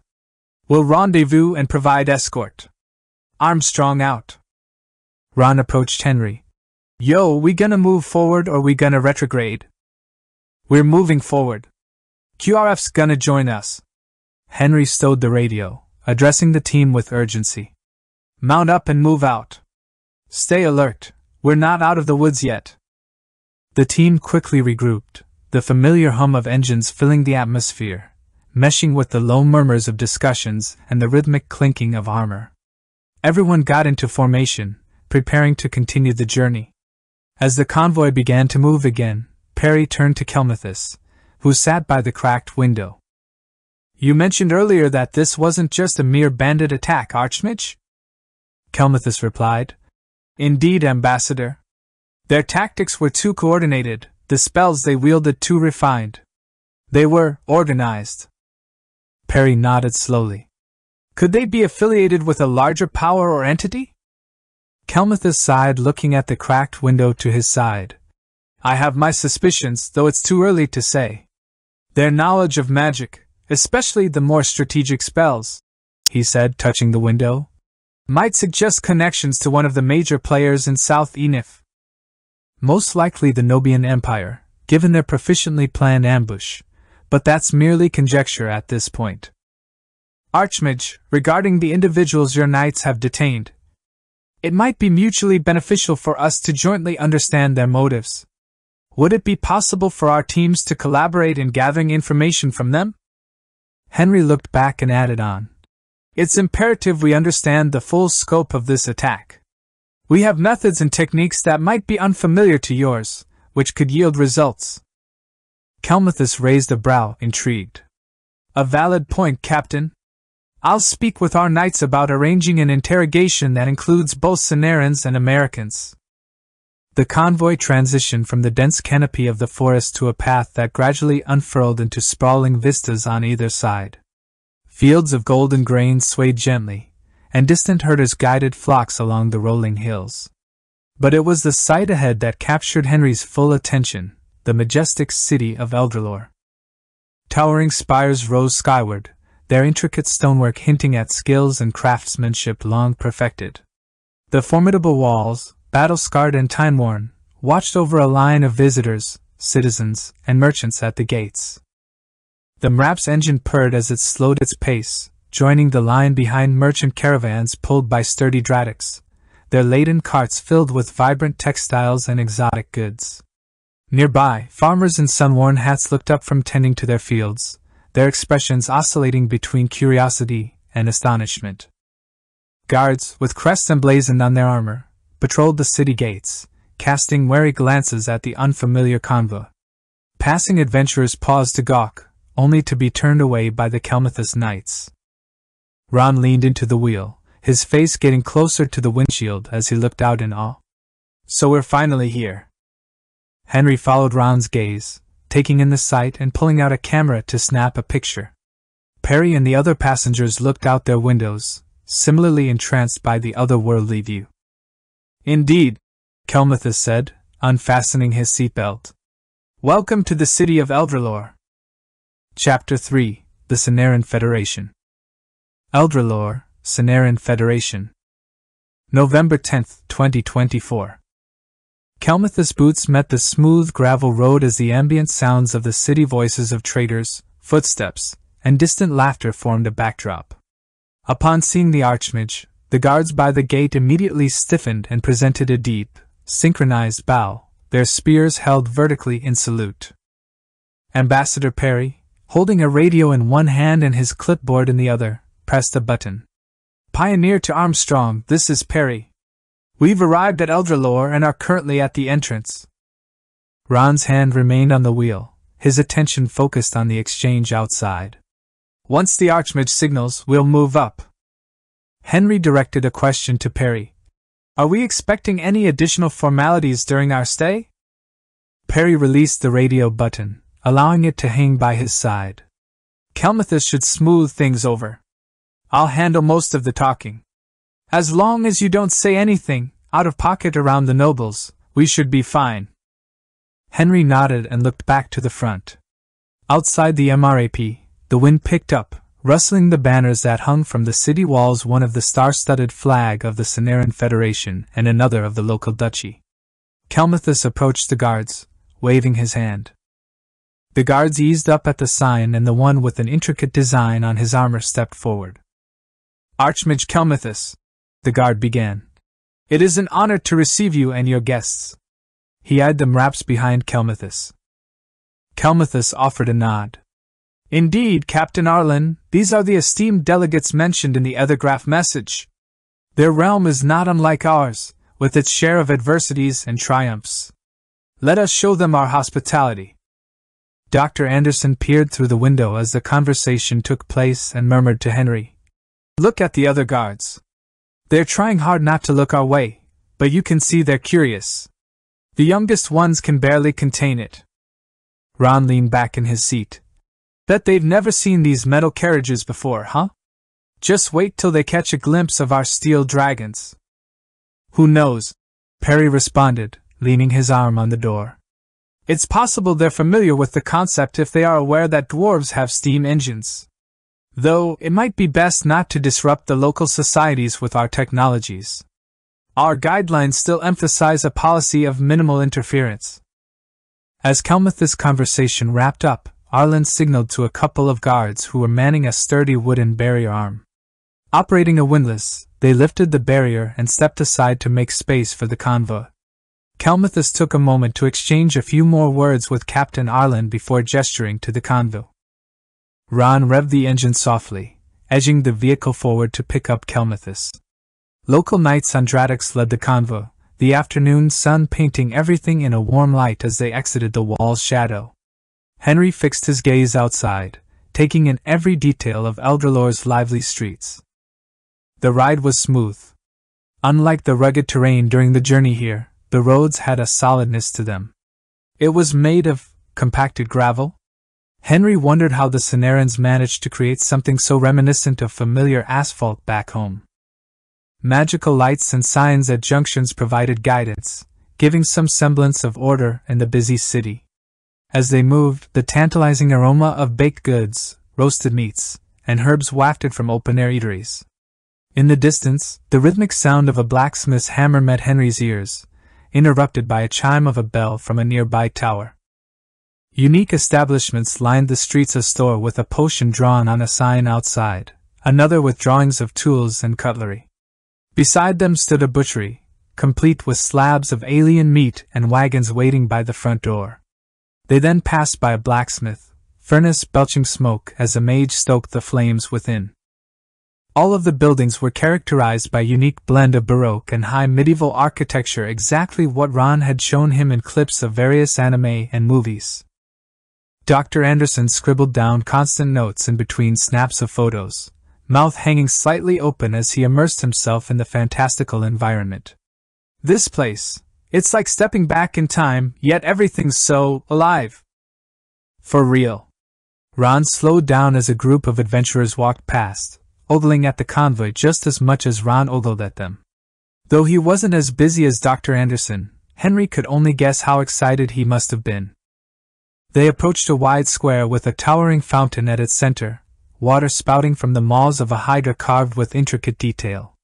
The sound of cascading water filled the square, mingling with local conversations. Ambassador Perry leaned out the window to get a better view. The Archmage wasn't kidding when he said this city was rich in history. Just hope they're as rich in cat girls or elven baddies. Ron trailed off, the last words in his sentence inaudible to all but Henry. Henry nearly did a double take. Bro, what? Ron cleared his throat. Uh, just hope they're as rich in hospitality. Ahem. He steered the MRAP skillfully through a tighter street, which then opened up to a wider road. So, uh, where are we headed? Kelmuthus answered. We are headed to the grand abode of Duke Vansad Stein. Though not his primary residence. His generosity has extended to provide lodgings for your esteemed delegation. Henry nodded as the heart of Eldralore gave way to a distinctly affluent district. Buildings, crafted from stone and crowned with pointed arches, were interspersed with broad driveways. Commerce and chatter were abundant as they made their way through. He could see ornate entrances leading into shops and high end boutiques, frequented by wealthy merchants or nobles. They picked up a bit of speed, continuing to follow the knights ahead until they entered a path that seemed much more maintained than the busy city roads they had left behind. As they continued, the sweeping visage of an opulent mansion unveiled itself. The mansion's entrance boasted an ornate gate, guarded by statuesque figures. They were accompanied by magical lights on each side which cast reflections over meticulously tended gardens. Tall towers loomed on either end of the mansion, overlooking the surrounding walls. Resplendent in their gleaming armor, guards stood sentry by the gate and within the courtyard. The convoy slowed down, coming to a graceful halt before the gateway. Henry observed as Kelmuthus stepped out to speak with the mansion's guards. The conversation was brief, with one of the guards giving a curt nod before signaling for the gates to be opened. As they slowly creaked open, Henry's gaze fell upon the courtyard, taking note of its layout and the placement of attendants who awaited them. The vehicles rumbled to a stop, and Henry was the first to disembark. The ground was firm underfoot, feeling like asphalt or concrete. Attendants in modest tunics and blazers approached him and the rest of the delegation. One of them, a middle aged man with graying hair, stepped forward. He had elongated ears that ended in a point. Similar to a Vulcan, Henry mused, though elf would probably be more appropriate. He didn't even need to look at Ron to know he was on the verge of wetting himself over seeing his first elf. Greetings, esteemed travelers, and welcome to the guest mansion of Duke Vancer. I am Roland, head steward of this establishment. Please, allow me to guide you to your lodgings. Ambassador Perry extended his hand with a smile. Thank you, Roland. I am Ambassador Perry, representing the United States of America. We appreciate the hospitality. He gestured to Henry. This is Captain Henry Doniger, our head of security. Henry gave a curt nod, replying, Lead the way, Roland. He cast a glance at the other attendants, assessing them. Roland gestured towards the mansion. This way. As they started the short walk toward the building, Roland pointed to some of the mansion's architectural features. Although this is a guest residence, Duke Vancer commissioned artisans from across the Federation to work on its construction, ensuring comfort and security for esteemed visitors. Henry, staying close to Ambassador Perry, took in his surroundings. The mansion was surrounded by a low stone wall, the top of which was decorated with intricate, leafy designs that shimmered ever so slightly under the sunlight, likely some magical enchantment. The wall clearly offered a layer of redundancy if the outer walls were ever breached, yet maintained the aesthetic of the courtyard. He eyed Dr. Anderson. Sure enough, he was marveling over the designs. Their path led to a massive wooden door, flanked by two guards with spears at the ready. Their armor was ornate but practical, and their focused gazes never left the delegation, taking stock just as he was. Not a word was exchanged between them and Roland, but they effortlessly swung the doors open at his approach. The main hall beyond was grand but not ostentatious. High vaulted ceilings loomed above, supported by thick wooden beams, and the polished marble floor was interrupted only by lush rugs that muffled their steps. Light streamed in from tall windows, lending warmth to the otherwise cool space. Henry's eyes drifted to a couple of doorways branching off the main hall, likely leading to other chambers. His eyes then jumped to the spiral staircase, then another door, taking mental notes of the mansion's layout, possible exit points, and vulnerabilities. Kelmuthus had demonstrated himself to be trustworthy so far, but he couldn't reliably say the same about everyone else, especially not after the recent bandit ambush. Though he didn't outright distrust their hosts, it also didn't hurt to be prepared. Ryan, walking a step behind, leaned in. This place seems sturdy. Good vantage points, he commented in a low voice. Henry nodded, whispering back. Let's not make any assumptions. We'll review the grounds later.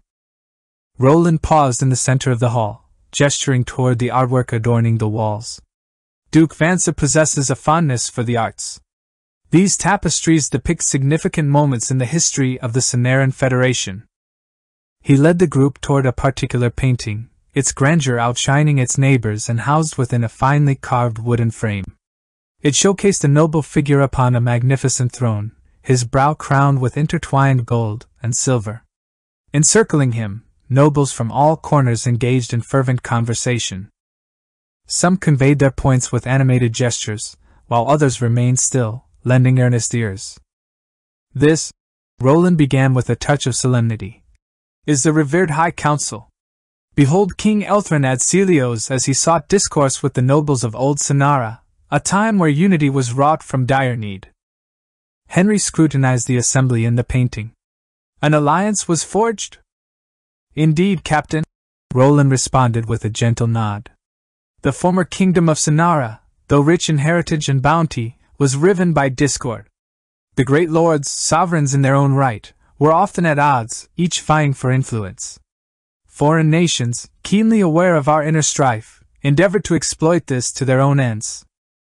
Dr. Anderson analyzed the paintings with childlike wonder, noting the foreign banners woven into the backdrop. External threats compelled them to rally together. Verily, continued Roland, the fractures within rendered us susceptible. In wisdom, King Elthrin envisioned the birth of the Sonaran Federation, granting autonomy to lords and their dominions in exchange for a pledge of fealty to the federal government. Ambassador Perry raised an eyebrow, a smile growing on his face. Interesting. So these lords, or governors, manage their own region yet unite under a central authority during pressing matters? Aye, a close likeness. As the years waned, surrounding nations aspired to join our fold, be it for security, commerce, or shared faith. Immersed in the lore, Ron asked. Shared faith? Roland indicated the sun emblem, glowing subtly in the painting. Sola, goddess of the sun, of light, and of life. She bathes our lands in her light and wisdom. Her teachings bind us, standing stark against the shadowy beliefs of the worshippers of Lenara, who have taken root in the Nobian Empire. Henry caught the undercurrents of tension in Roland's tone. The Nobian Empire. Kelmuthus had mentioned this name after the ambush. He looked at Perry, brows furrowed and arms crossed. He wasn't the only one who wanted answers on these mysterious Nobians. What can you tell us about the Nobian Empire? he ventured. Roland's smile faded, his eyes becoming hard. The Nobian Empire, once a mere collection of territories, has of late risen in might and ambition. Their embrace of Lenara, the goddess of the night and darkness, fuels their growing audacity. It is whispered that some within the empire seek greater power and influence. Dr. Anderson crossed his arms. The dossier on the Nobian Empire says the same thing, but it didn't really go into depth on current geopolitics aside from their basic history. Kelmuthus, who stood at a little distance, gave a slight bow. My apologies for the oversight, Doctor. In penning that dossier, I endeavored to remain impartial. In truth, we believe that they covet Sonaran lands, and with it, its history and magics. However, this assertion remains uncorroborated, for the Nobians have spurned our overtures of diplomacy. Alas, our interactions with them have been but minor frays and skirmishes upon the Grendon plains. The implications of Kelmuth's statement were clear to Henry, especially considering the fact that the ruins and their base were smack dab in the middle of the Grendon plains. Is that something we're gonna have to worry about? Kelmuthus shook his head. The Nobians have not ventured into those lands for many a year. However, the possibility lingers that they might tread there once again. The ambush bore hallmarks of their tactics, and I must concede that discerning their movements has been a challenge of late. Ryan took a step forward, his voice rough and tinged with southern drawl as he spoke. With all due respect, an ambush of that damned scale indicates a significant breach of operational security. Who knew of our arrival? Are those Ethergraph things secure? Is it possible the message was intercepted? Kelmuthus adjusted his stance. I share your concern, Sir Hayes. We took every precaution, but it seems words spread to nefarious ears. The Ethergraphs are indeed secure. There lies no possibility of interception. Dot. He lowered his voice. It is probable there are Nobian spies within the ranks of the local guards. Roland stepped in, putting on a smile and holding his hands up. Worry not, everyone here is under the personal employ of Duke Vansa himself. There is no risk of betrayal here. Isaac eyed a pair of guards patrolling outside the building. Still, perhaps holding our discussions at the base would be a wiser choice. The security there is more familiar. Henry frowned, assessing the room, while Perry cleared his throat. Look, I understand the concerns, but consider this. Pulling out now and heading to Armstrong Base might send the wrong message to the Sonarans. They might see it as a slight, the last thing we need is to strain this delicate, historical relationship from the get go. We cannot allow humanity's first interplanetary contact to be a failure. He paused, taking a brief moment to gauge the reactions of those around him. Also, moving now could expose us even more. Eldralore has its defenses, and we've got Captain Doniger's team and their gear, plus the good Archmage. We should play it smart and leverage the security we have right here, rather than risking the journey back. Ryan shrugged. I still think Isaac's right, but the ambassador does have a point. This location has a lot of open lines of sight and great vantage points. Minimal risk of intruders even getting close to the gates. Your call, Captain. Henry scratched his neck. He initiated all of this, and with Perry's justification and Ryan's support, he simply had to see it through. All right, we'll stay and hold the meetings here. But we hightail it back to base at the first sign of trouble. Perry placed a hand on Henry's shoulder. Thank you, Captain. Roland, sensing the moment of tension had passed, gestured gracefully to an archway leading further into the mansion. Pray, follow me and I shall conduct you to the chambers prepared for your repose. They passed by more indistinct hallways and adjoining rooms before finally arriving at their living quarters, which faced the conference room, training hall, and bath. Roland opened the door to one of the bedrooms, revealing the luxuries within. Herein lie your quarters, diligently prepared to ensure your rest and solace. We have assigned one bedroom to each person, he declared, the rich timbre of his voice hinting at pride. They are furnished with all that might be requisite for your comfort. Should any additional need arise, do not hesitate to summon our attendants, who stand ever ready to serve. Henry looked in awe. It was as one would expect for a noble's bedroom massive white spaces, sophisticated decorations, a large and comfortable bed, and maids standing at attention. Everything was surprisingly fit for modern standards, with magical lighting attached to a switch. Even the bathroom had proper plumbing, including a toilet and shower. Dr. Anderson was utterly intrigued by this anachronism, closely studying the design of those amenities and jotting down notes. Henry then turned to Ambassador Perry, who seemed the most unfazed by this display, offering only a smile and a handshake to express his gratitude. We are much obliged for your hospitality, Roland. Roland, with a refined nod of his head, replied, The honor is ours, Sir Perry. Please remember, in an hour's time, dinner shall be served in our grand hall. Until then, be it your wish to explore these venerable halls or simply relax, you have our leave.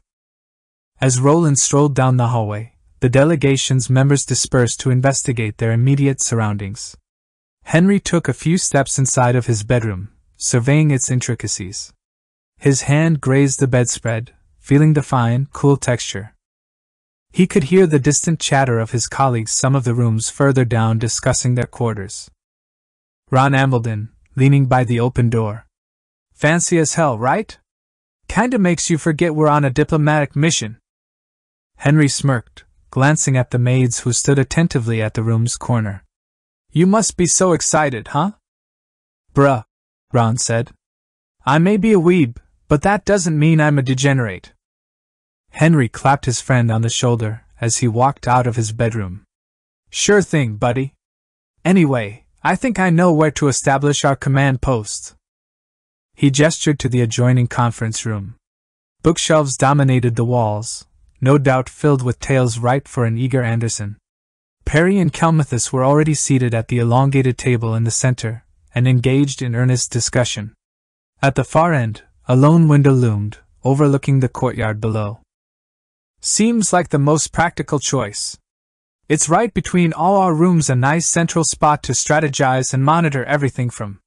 Speaking of which, he waved a hand to Isaac and Ryan, who were checking the room for possible bugs. Yo! Yen Hayes! Henry called out, beckoning to them as he walked toward Kelmuthus and Perry. Captain! Ryan nodded, approaching the table. I'm thinking of setting up here, Henry said, taking in the room's layout. Looks solid, Ryan agreed. Aight, let's get these babies rolling, Isaac said, pulling out electronics from a bag and setting it on the table. Nudging Ryan, he motioned with his chin to the walls. You think this old stone's gonna mess with the signal? Nah, dude, doubt it, Ryan said, glancing over to Kelmuthus. Dunno about the enchantments and stuff, though. The Archmage looked out at the wall outside. Dr. Lamar's testing yielded little evidence of interference. I know not of the natural philosophies behind your mechanisms, but her judgment appeared sound. Henry nodded. Just in case, though, would you mind having some of your knights take up shifts here? Your recommendation holds wisdom. I will reassign some of my men from the perimeter patrols. Our insight into the ether may prove useful. All right. Henry glanced at his watch. We'll reconvene here 10 minutes before dinner. Should be enough time for a review of our plans and local etiquette. Dr. Anderson, having momentarily been lost in a tome from a shelf, reluctantly shut it and approached the table. No time for a quick tour of the library, then? Henry shook his head, grinning slightly. Priorities, Doctor. But we'll see. As everyone prepared for the upcoming dinner, Henry turned away from the conference table and made his way back to his room. The day had been long, and a wash before dinner seemed a prudent choice. As he stepped into the bathroom, the sheer opulence of it made him momentarily forget he was in a foreign world gleaming marble tiles, a tub that looked hand carved, and various vials and jars containing substances he didn't recognize. As he closed the door and undressed, he considered trying out the mysterious liquids but instead pulled his own shampoo and soap from a bag. What caught his attention, however, was the shower. There were no knobs or handles, just a set of intricately designed glyphs arranged in a circle, with three major ones laid out in a row. Maybe he missed the handle? He searched for one to no avail. He then touched one glyph, hoping for water to start pouring, but nothing happened. After a few futile attempts, he realized he might need some assistance. Clearing his throat and putting his clothes back on, he stepped out and noticed one of the maids still lingering nearby. Excuse me, he began. I seem to be having some trouble with the shower. Could you help? The maid, a young woman with bright hazel eyes and a gentle smile, stepped into the bathroom and glanced at the glyphs. She nodded, placing her hand over the third glyph in the row. With a glow, it slowly spun to life. Water poured out of the showerhead, already tuned to a comfortable temperature. The bathing systems here call upon the essence of mana. Unfortunately, without innate magic, one would need an external touch. She produced a small, radiant blue crystal from a pocket in her attire and handed it to Henry. We use mana crystals like this to operate more mana intensive equipment, but you can hold on to this. Hold the crystal near the glyphs to supply it with magic energy, then select your desires upon the glyphs. Henry accepted the crystal, the strange object exuding a soft pulse. Thank you, he said, noting the warmth of the object. I'm not quite used to this. The maid chuckled softly. Fear not. We were briefed about the vast divides between our realms. The first glyph commands the warmth of the water, the second its vigor, and should you wish it ceased, press the crystal to the third. With an appreciative nod, Henry said, I think I've got it from here. Thanks again. She bowed slightly. Always at your service. Should further assistance be sought, merely voice it. May you enjoy your bath. Left alone again, Henry examined the crystal for a moment before following her instructions. Henry smiled like a kid using a new toy as he operated the shower. It was more like someone on a starship using holograms to control things rather than magic. As he showered, all he could think of was how conveniently modern the plumbing was and how grateful he was that he didn't have to reduce himself to shitting in a bucket. Feeling refreshed, he dried off and dressed in his official attire, giving another nod to the maid as he walked to the conference room.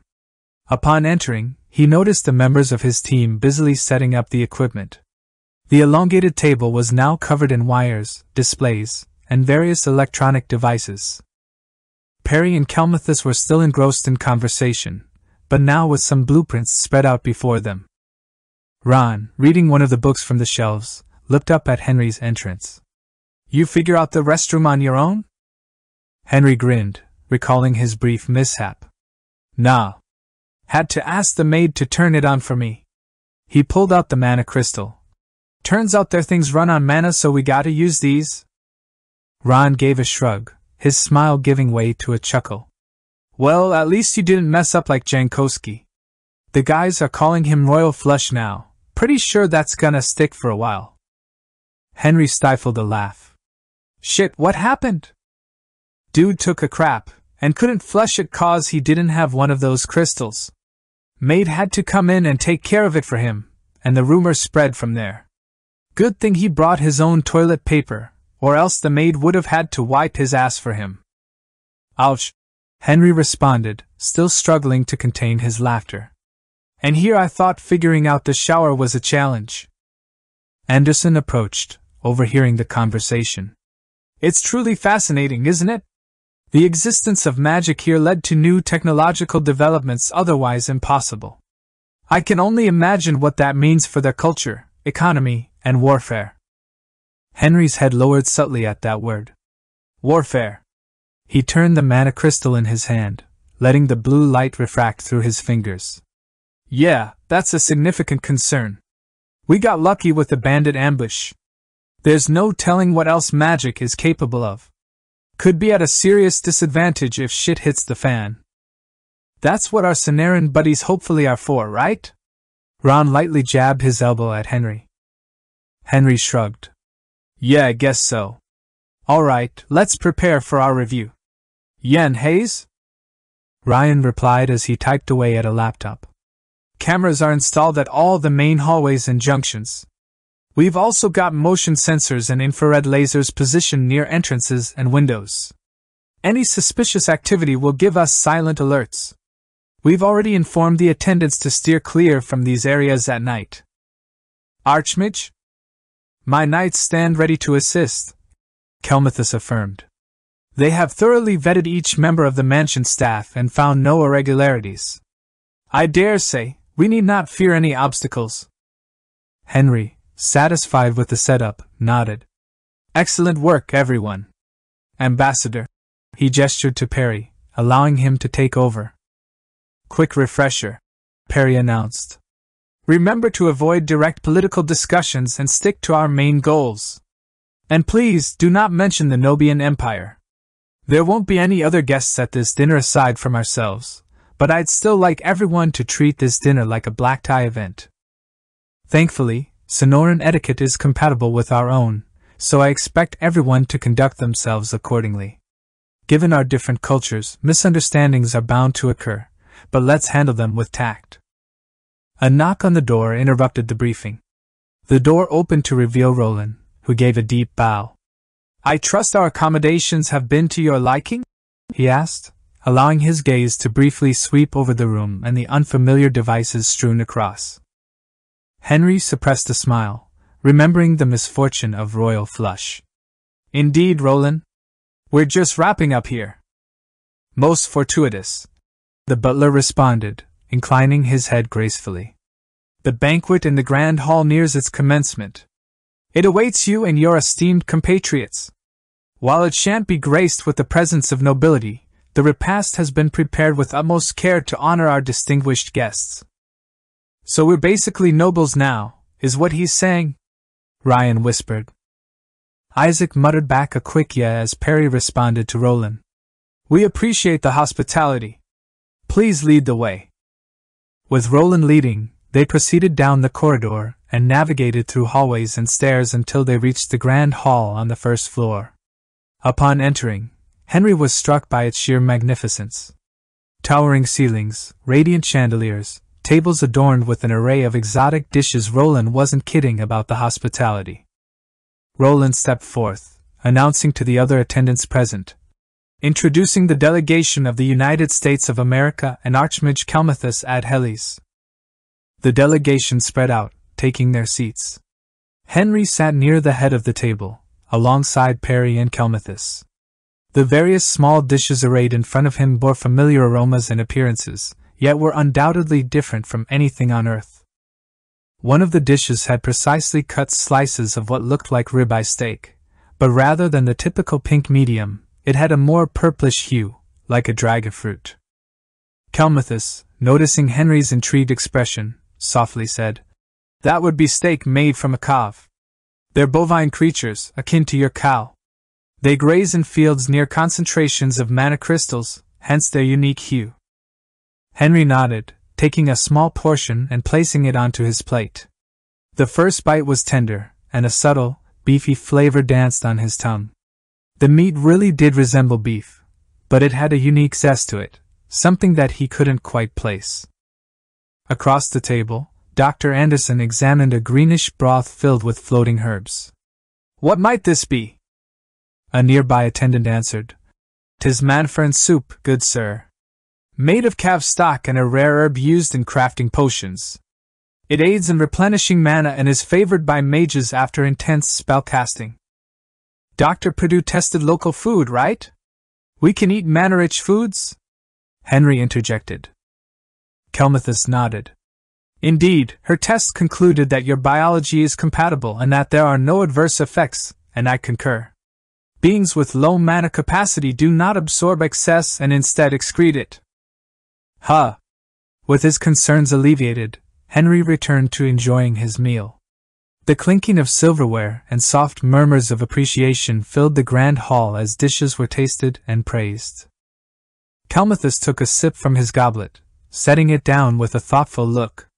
He turned to Henry, his eyes briefly resting on his wristwatch, a novelty to him, no doubt. These metal beasts of yours that patrol the perimeter, what are they? Henry set his fork down. They're called UGV's unmanned ground vehicles. They're controlled remotely, like the rover. Kelmuthus tilted his head back slightly. Ah, so you have different types of golems at your disposal. But what are they animated by? Pure artifice? In a way, yes, Perry interjected, eager to explain. Similar to how magical energy powers your devices like the lights and shower, our machines rely on electrical energy. They're programmed by our own version of runes, I suppose. The Archmage's gaze deepened, a slight frown forming. Machines. I've seen the wonders they achieve in your camp. It's fascinating, and oddly familiar. Oddly familiar? Perry asked. The machines you describe are similar to those within the Gatebuilder's ruins, though we believe them to be powered by a blend of spellwork and electrical energy. After a contemplative pause, Kelmuthus continued, Your kin are bereft of mana. How did you activate the gateway? Perry looked to Henry, who nodded slightly. Interestingly, we believe that we managed to activate it out of pure coincidence. One of our experiments happened to coincide with unknown energies. Our testing, Kelmuthus realized, simultaneous experimentation culminating in an alignment of fate. Henry took a bite of something that tasted like chicken, listening to the exchange as he ate. The atmosphere grew warmer as the evening progressed. He could even feel himself relaxing a bit. While he focused on his food, his ears remained attuned to the conversations around him Ron asking about the ratio of female elves in the Adventurers Guild, Isaac somehow joining in on that topic, and Anderson learning more about Cenaran history from Roland.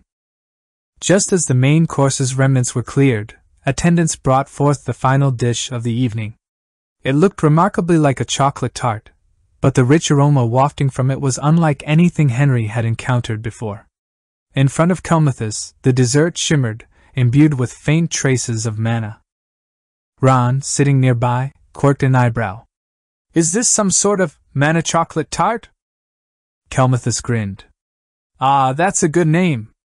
It's a blend of dark Urith cacao and infused with a pinch of starshade and herb known to aid in rejuvenation and relaxation. Henry, intrigued, took a cautious bite. The familiar bitterness of cacao melded seamlessly with a calming, ethereal sensation. It tasted a bit like Hershey's mixed with something akin to mint. It's extraordinary, he murmured, savoring the taste and sensation. Kelmuthus chuckled. It's a favorite among many. As the dessert course concluded, the delegation members began to rise from their seats. A few exchanged final pleasantries with maids or newly befriended knights, while others stretched and yawned. Henry could sense the undercurrent of exhaustion, especially from his own team. It had been a long and eventful day. Roland, having observed the proceedings with quiet dignity, stepped forward. I hope the repast found favor with your tastes. The banquet was prepared under the guidance of the esteemed Duke Vancer.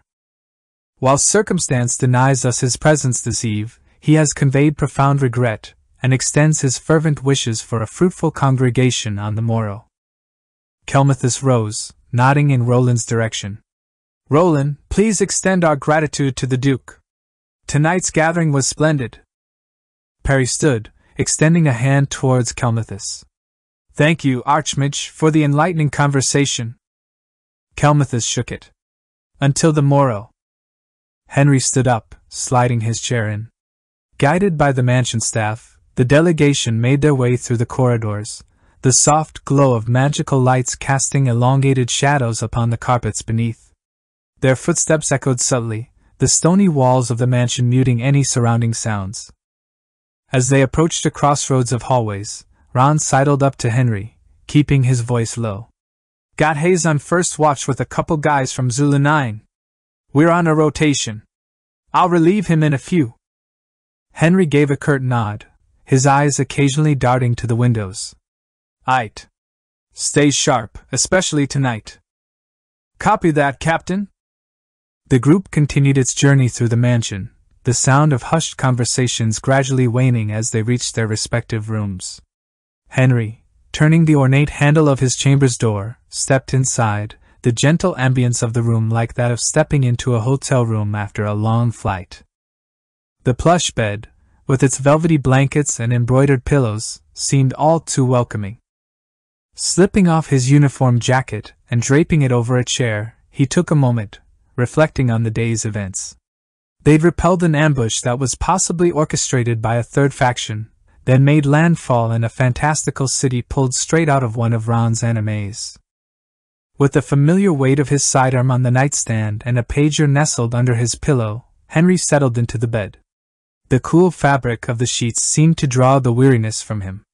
As the pull of sleep began to take hold, he took comfort in the knowledge that the men of Zulu 9 were keeping watch.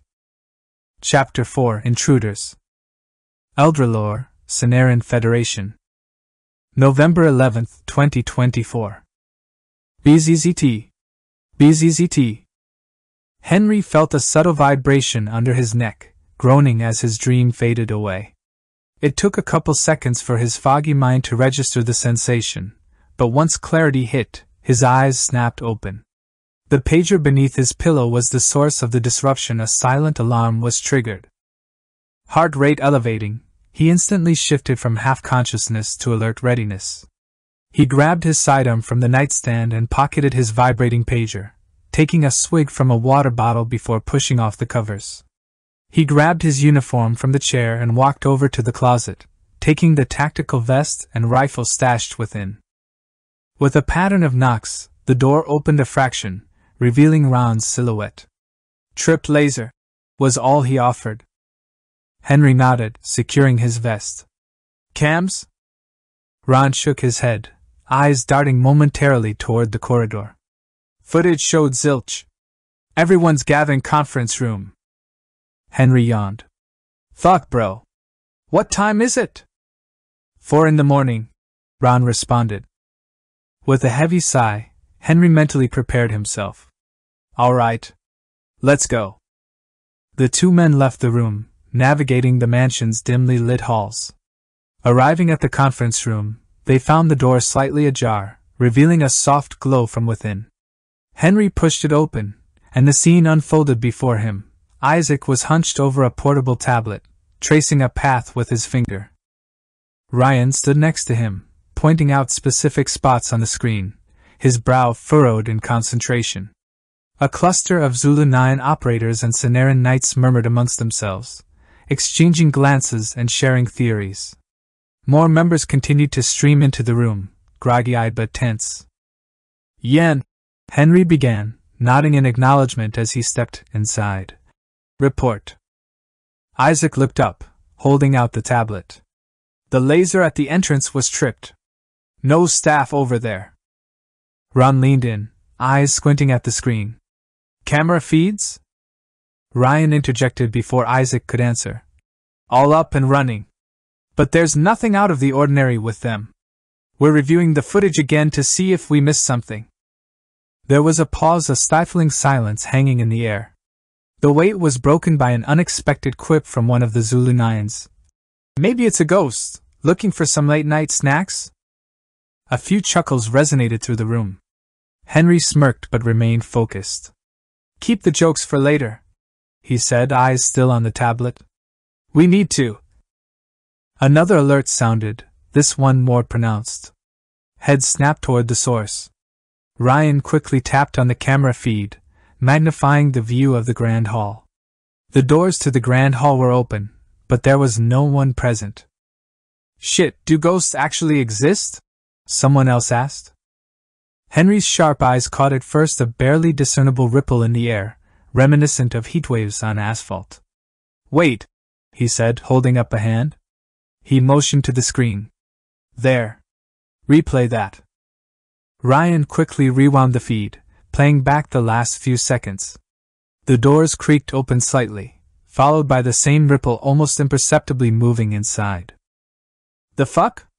Isaac noticed the faint distortion. Legit ghosts? Active camo? Switch to infrared, Henry ordered, a gut feeling nudging him. Ryan raised an eyebrow. Infrared? You think it'll show up? Just a hunch, Henry said. With a tap, the screen's hues shifted. The grand hall was awash in blues and purples, with the occasional yellow of warmer objects. But next to the warm amber glow of the lantern, there was a distinct, cold silhouette. More silhouettes surrounded it, each varied in how well they blended with the background. Henry leaned in closer, his suspicion confirmed. Gotcha, he murmured. Ryan blinked, surprise evident. I'll be damned. The murmurs grew louder as the men in the room commented on the source of the intrusion. What the hell is that? Before Henry could voice his thoughts, Kelmuthus approached the screen. Catching sight of the evidence, his face tightened. That, he began voice low, is no mere phantasm. Tis the art of Nobian cloaking magic. A murmur of unease swept through the room.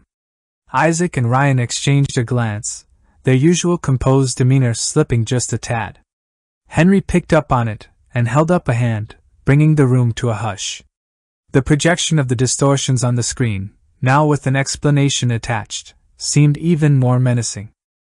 Henry nodded at Kelmuthus, silently urging him to continue. In the lands of the Nobian Empire, there reside beasts called lurkers. They bear a talent to bend the very fabric of light around their form, rendering themselves nigh invisible to our sight. Henry recalled wildlife documentaries where animals like chameleons changed color to blend with their surroundings, but this seemed more advanced. Bending light? he interjected. Kelmuthus gave a solemn nod. Indeed. Much akin to how this device, he gestured to the infrared display, reveals the warmth of beings, not unlike the manner of reptiles in this realm. 'Tis whispered amongst our scholars that the Nobians, through ages of observance and study, might have gleaned secrets from these lurkers. With time and art, they might have harnessed such knowledge, fashioning spells to grant them comparable concealment. So they learned from those lurkers, Ron said. Kelmuthus replied. It is only what we surmise. Our knowledge of the Nobians is scant at best. They have long shielded their intents, often rebuffing our overtures for peace and kinship. Yet tales have trickled down hints and whispers. Henry crossed his arms. They had such little information to work with. How effective is their magic? Does it only bend the light? Kelmuthus shook his head. No, not merely so. It refracts it, disperses it. If wielded with mastery, it can render the caster near invisible, spanning diverse spectrums. Yet, his finger gestured to the screen where the distortion ambled past the warm light. It appears some among the Nobians lack finesse in all domains. Ryan smirked. So most of them are more familiar with making themselves invisible to the human eye, but a handful screwed up when it came to infrared. In essence, Aye, Kelmuthus affirmed. It appears this one erred in his art, neglecting to adjust when nearing the warm radiance. A fleeting misstep, but one that betrayed their presence. Henry breathed a sigh of relief. At least we know Nobian magic is still fallible. Kelmuthus nodded slowly, his eyes narrowing. All forms of art have their frailties, even the sophisticated spells of the Nobians. Yet, we must remember that full reliance on your devices might lead to deception. Isaac tilted his head. So you're suggesting we can't lean on our tech to spot these guys? The Archmage turned to face him. While your technologies are wonders in their own right, they might not always prevail against these arcane means. I would advise diversifying our approach. What do you propose then? Perry asked. Disrupting their illusions is of utmost importance, Kelmuthus explained. Our knights and mages have honed particular counters to dispel such magics. If timed right, these could momentarily fracture their cloak, rendering it ineffective or, at the very least, weaken it. Ryan raised an eyebrow. That sounds like a plan. So we'll work in tandem? Aye. The Archmage confirmed. Your eyes are magic. Henry rubbed his eyes, his mind running through the implications. Let me get this straight. He started. You want to identify the intruders so you can cast your magic on them? How exactly will you disrupt their cloaking? Kelmuthus swept his hand through the air, invoking a shimmer of translucent waves. Consider their cloaking magic as a ceaseless endeavor to weave into the tapestry of their surroundings. Should they walk past a tree, they must meld with it. Should they walk through a crowd, they must meld with the many faces and fabrics that make up the crowd. Our counters are purposed to fray that delicate weave. By flooding their sensory inputs, Henry guessed. Kelmuthus nodded thoughtfully. Precisely. We deluge them with potent, ever shifting magical currents, creating a tumult their illusions struggle to mirror. Our casting shall be unpredictable, shifting faster than the Nobians can adapt. Ryan frowned. But won't that tip him off? They don't know that we can see M. The moment they feel their cloak weakening, they'll realize we're on to M. Henry tilted his head. Ryan was right, to an extent. It might, but they probably won't notice right away. We can bait them into wasting more of their energy and attention. We don't need to unveil them right away, we can just tire them out. By the time they realize, it'll be too late. And once their guise falters, if even for a fleeting heartbeat, our knights shall spring forth. Their speed should make capture a trifling matter. Might want to knock 'em out ASAP, Ron commented. We brought a few tasers along with us. Flashbangs too. We can toss them to give the knights an easier time. Ryan nodded. Can't get answers out of a corpse. Henry felt a shiver as he heard Ryan's words, as if he spoke from first hand experience. Knowing that Ryan and Isaac were dispatched from Langley, it didn't surprise him, but it still sent a chill down his spine. This was a man truly not to be fucked with. Perry seemed to be impacted a bit more by Ryan's words. He held up his hands. Whoa, whoa, let's try not to end up with bodies here. Look, I get the stakes, and I know your team's priority is to ensure our safety. But, if there's a chance, even a slim one, to detain one of these intruders peacefully, it could make a world of difference in understanding their intentions. Our actions tonight could dictate the trajectory of our future interactions with the Nobians. I certainly agree, Ambassador, but no promises, Ryan said. As the words left his mouth, a new silent alarm popped up. Isaac glanced down at his screen and then looked up. Kitchen adjacent to the grand hall, he announced, his tone tight. Henry's pulse spiked slightly. The intruders were getting deeper into the mansion. It wouldn't be long before they circled around and found the guest quarters upstairs. He gestured to Ron, Ryan, and Kelmuthus. Owens on point. Hayes rear. Archmage, you're in the middle. Take two of your knights. Kelmuthus assessed his knights, deciding who to bring along. Hail, WYNT. He nodded to two knights. Take up the flanks, Henry said. The two knights, both adorned in full plate armor, stepped forth and took their positions. Ryan adjusted the sling of his rifle, hand grazing an equipment pouch, while Ron gave Henry a brief acknowledging tilt of his head. Satisfied with his squad, Henry turned back to Isaac. Let me know if another point gets tripped.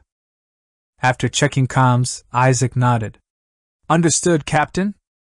Set up a QRF with Weaver and pair them with some of the knights. Henry continued. He still didn't know how many intruders were inside the mansion. Three squads, including his own, would have to manage. I want five others with Weaver. Have them bring the mansion staff over here for safety. Once they're back, have them prepped in case there are more alarms or if we need backup. Everyone else stays behind in the conference room to protect the ambassador and his staff. On it, Isaac replied. Henry gave a curt nod. Good. He turned to his squad. Let's get to the kitchen. Keep it tight and silent. He felt confused by his own words, looking at the knights and their clinking armor. But as they left the conference room, he noticed that their movements emitted little sound. Magic or training? He shelved the thought, focusing on the hallway ahead. Drawing the goggles over his eyes, the HUD immediately lit up, presenting a crystal clear display. The shadows that previously veiled objects and corners were pushed back, the outlines of his teammates and surroundings highlighted in a subtle glow. Small blue icons floated above Ron and Ryan. Manual tagging, Henry muttered as he tapped a button on the side of his goggles. A soft chime acknowledged his command. Focusing his gaze on the knight's hail and WYNT, he quickly spoke. Tag as friendly. Two new icons settled above the knights, joining the others. He then swiftly glanced at Kelmuthus, who was already marked with a distinct circular icon different from the blue diamonds over everyone else that hinted at his magical prowess. Ron, just up ahead of Henry, signaled the all clear as they approached the doors to the grand hall. Henry's earpiece crackled to life, Isaac's voice coming through. Grand hall showing clear on cams, no visible threats. Proceed with caution. Copy, Yen. Going in. With that assurance, he signaled Ron to take point with the knights. He glanced at Hale, then pointed it as his large shield. The knight nodded, lifting it high in preparation. They positioned themselves on the left side of the door while Ryan, WYNT, and Kelmuthus positioned themselves on the right side of the door. After a tap on the shoulder, Hale moved forward. The two knights stepped into the grand hall and immediately veered to their respective sides to clear the corners, shields providing an effective barrier. Henry raised his rifle, swiftly moving behind Ron and Hale. Infrared lasers swept across the room as his squad cleared it. Scanning, he found nothing but polished furniture and dimly flickering lights. Looking through the thermal view on his goggles, he found no distortions at all. Having cleared the entrance to the grand hall, the knights adjusted their shields and pushed toward a side door that led into the kitchen. Stack up, Henry murmured, indicating the kitchen's entrance. Repeating their breaching process, they swept the kitchen. The room was vast, the central magic stove casting an eerie glow. The immediate silence was disrupted only by the subtle clink of equipment and the subdued footfalls of the squad. Ron, after sweeping the left, signaled an all clear. Ryan, having done the same on the right, mirrored the gesture. Henry's gaze was drawn to the stove, curiosity piqued. But as he studied the strange device, a ripple caught his eye. The colors on his goggles seemed to shift hues ever so slightly before disappearing into the background. Kitchen's clear, Ron whispered, but the tone of his voice held a question. It was the inflection Henry had come to recognize the one that meant, Do you see what I see? He merely nodded and adjusted the grip on his gun. A thought flashed across his mind. If the cloaking relied on manipulating light, could a focused beam disrupt it further? Without making it too obvious, he adjusted his rifle's angle, letting the laser on it sweep past the stove, almost as if he were scanning the general surroundings. The reaction was near instantaneous. Where the laser touched, the air quivered and revealed a faint thermal distortion. For a split second, the Nobian intruder's outline sharpened, the laser's concentrated beam throwing the cloaking magic off balance. It was as if the laser's intense, singular beam was too precise and concentrated for the magic to refract seamlessly. Henry kept his face impassive, hiding his realization. Instead, he turned to Ron, using his eyes to indicate the position of the hidden figure. He then turned, his back facing the stove, and pointed at a bag of flour then subtly thumbed over his shoulder. Ron caught his eye movement and followed the subtle direction, giving a minute nod in response. Henry motioned for Ryan to move around to the far pantry, marking a point on his visor. Ryan nodded, hand brushing his equipment pouch as he moved discreetly, acting as if he were inspecting the surroundings. As he walked to the designated point, Henry turned to the Cenarians. He pointed to them, then to himself. Follow me. Taking cover behind a shelf out of the Nobian's line of sight, he used swift gestures to demonstrate the necessary precautions to take against a flash bang. He pointed to his mouth, opening it slightly, then gestured for the Cenarians to do the same. The Cenarians watched, concentrating as they tried to grasp the significance of these unfamiliar gestures. Thankfully, Kelmuthus was quick to catch on, imitating Henry's movements. Looking at the knights, Henry pointed to Kelmuthus and himself. The knights realized his message, nodding and following suit. He gave them a thumbs up and a nod, internally relieved. He then signaled for them to stay put and keep low, holding a closed fist in the air. A subtle click resonated from the far pantry, the sound of a safety pin being pulled. It was followed by the faint sound of metal skidding across the floor, and then a deafening pop that filled the kitchen. AGGH! The intruder screamed, groaning in pain. Go! Go!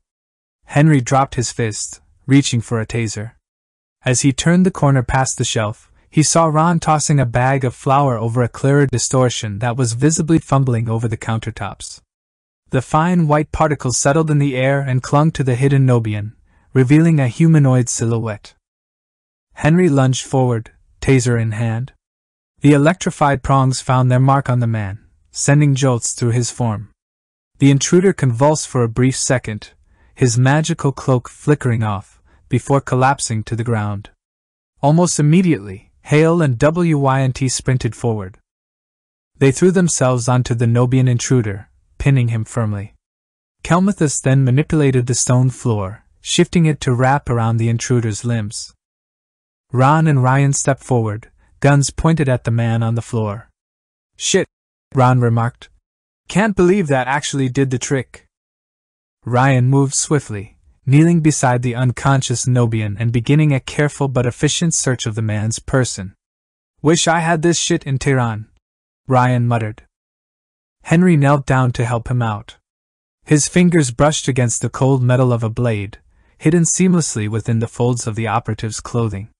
Extracting it and setting it aside, Henry's brow furrowed at the unfamiliar alloy it was composed of and the intricate symbols engraved on its hilt. Ryan, observing the blade, commented with a half whistle. That's no souvenir shop find. Henry nodded, looking up to Kelmuthus. Anything we should be worried about here? The Archmage picked up the blade and inspected the symbols. The blade bears enchantments to enhance its durability. Moreover, it can serve as a conduit for weaving spells. Yet, fear not, it holds no snares or timed spells, if such are your concerns. Henry's attention turned to Ryan's voice. Mana crystal, he said, giving the object to Kelmuthus for study. A crystal of lesser quality, nearing depletion, he commented. The fractures indicate a hasty rate of mana consumption. As Ryan pulled another set of blades hidden in the Nobian's boots, Henry felt the contours of a pendant around the man's neck. Removing it, he handed it to Kelmuthus. An artifact? Indeed. Within, it houses a crystal of greater refinement, albeit this too is spent. I surmise its use was to bolster the art of concealment, but further study is required for a fuller understanding. Next, Henry produced a sealed vial, its contents a shimmering blue liquid. A basic mana potion, WYNT offered. Henry nodded, pocketing it. Dr. Lamar and Dr. Perdue would certainly love to take a look at the substance. He finally reached the last of the man's pockets, retrieving a small, tightly rolled scroll and a quill. At a glance, it looked like any other piece of parchment, but given the context, it could be something more significant. Ron leaned in. Orders? Could be, Henry murmured, unfurling the scroll. It revealed writing, but none that Henry could understand. He turned to Kelmuthus, offering him the scroll. Does the translation magic not work for writing? He took the scroll, analyzing its contents. Ah, it does. The circle of understanding works for both spoken word and scripture. The ones that I and my mages applied covered only the Cenaran tongue and Enish common. However, I can bestow upon you knowledge of other languages I am versed in. Yeah, please do, Henry said. Very well. The Archmage summoned a handful of magic circles under Henry, Ron, and Ryan. Electricity once more crawled along Henry's skin. As the circles faded, Kelmuthus returned the scroll to Henry. This time, the words seemed to click in his mind, rearranging to English. He read the contents of the scroll aloud. Unknown faction, large metal carriages stationed near entrance. likely same ones encountered during the ambush. Henry paused, looking up, then doing a double take on that line. It didn't change. It was definitive proof that the Nobians had something to do with the ambush. The fuck? Ryan took the words right out of his mouth. So these are the fuckers behind that. Kelmuthus shrugged, a gesture he had learned from the Americans. It would seem my suspicions held true. He glanced at Henry. Please continue. No riders atop. Emit strange humming sound. Unknown purpose, likely some sort of siege mechanism. Strange warriors, not of Cenaran or known lands. Dark and sleek armor, unlike metal or leather. Movements suggest elite training. Faces shielded with glass that glows faintly. Wield not swords, but elongated instruments. Likely same tools identified during the ambush that shot thunder without incantation. Not crossbow. Something more potent. Frequently converse with Cenaran Archmage of high standing. Possible alliance? The Archmage wears regalia likely identified as Kelmuthus of House Helles, Accompanied by two Sonaran knights. Possible threat to the Empire. Strange boxes and panes affixed to their armor. One of the panes can emit light, like a scrying mirror. And it looks like he drew some sketches of what he saw. Damn, Ron muttered after Henry finished. Sounds like we made quite the impression. Henry nodded, considering the implications of the scroll. They had just been given a glimpse into how alien their presence must seem in this world. And this agent had taken note of everything. It's more intel for them on us than vice versa, Ryan said. We should get back to base. Henry concurred with a silent nod, stowing the scroll away. As he did so, a crackle in his earpiece broke the momentary silence. Isaac's voice came through. Sitrep? Henry replied. One hostile detained. Searching for intel. What's your position? Another alarm, staff quarters. They're on the move. Count 2 Tango Oscar Mike en route to quarters. Copy. Henry's mind raced this complicated their situation. Status on Weaver? Isaac answered Henry's concern. They brought back the mansion staff. Safe and sound here. The quarters are a ghost town now. Solid copy. Henry's response was crisp, but his mind was already turning over the logistics of an evacuation. We need to consider pulling back to Armstrong. The mansion is compromised. Isaac responded. Understood. I'll brief Perry. Are we calling it? Yeah, notify Armstrong. Secure the ambassador, start prep for evac. I'm heading to the staff quarters first, but have transport on standby. Roger that. Henry turned to Kelmuthus. The Nobian, can you keep him under? The Archmage gave a nod. With a few whispered incantations, he hovered his hands over the still figure's face, palms glowing as he cast his spell. He shall remain in slumber for another three hours. Hayes, WYNT, secure the Nobian in the conference room. Once you're done, meet us at the entrance to the staff quarters. The two men nodded, grabbing the intruder by the arms as they began to drag him out of the kitchen. Owens, Hale on me. Archmage, stay in the middle. We're heading to the staff quarters. Ron and Hale fell into step beside him. They left the kitchen, moving slightly ahead of Ryan and WYNT. They transitioned from the grand hall to the mansion's entrance, carefully navigating up the stairs to the left until they found themselves at the entrance to the staff quarters. Weaver's status? Henry asked. En route, Isaac responded. Should be coming from the guest quarters in a few seconds. Copy. Henry's hand went up, and they paused outside the entrance. The doors were open, the Nobians didn't even bother to close them. They knew they were exposed and had little time to escape. But if escape were so important, why detour to the bedrooms? They had to be searching for more intel. He could only hope that Roland's staff didn't leave behind any significant information on the delegation. The seconds ticked by quickly, Weaver's squad approaching with the soft shuffle of equipment. Hallways clear, Henry announced. Let's sweep. The knights in Weaver's squad joined Hale in the vanguard, moving forward with their shields raised. Henry's eyes swept the hallway a narrow artery of stone and shadows as Weaver's squad fell in behind Hale and advanced. As they approached the first bedroom door, he caught the eye of a knight from Weaver's squad and jerked his head toward the hallway. Without a word, the knight and two others peeled off, guarding the others while they stacked up on either side of the bedroom door.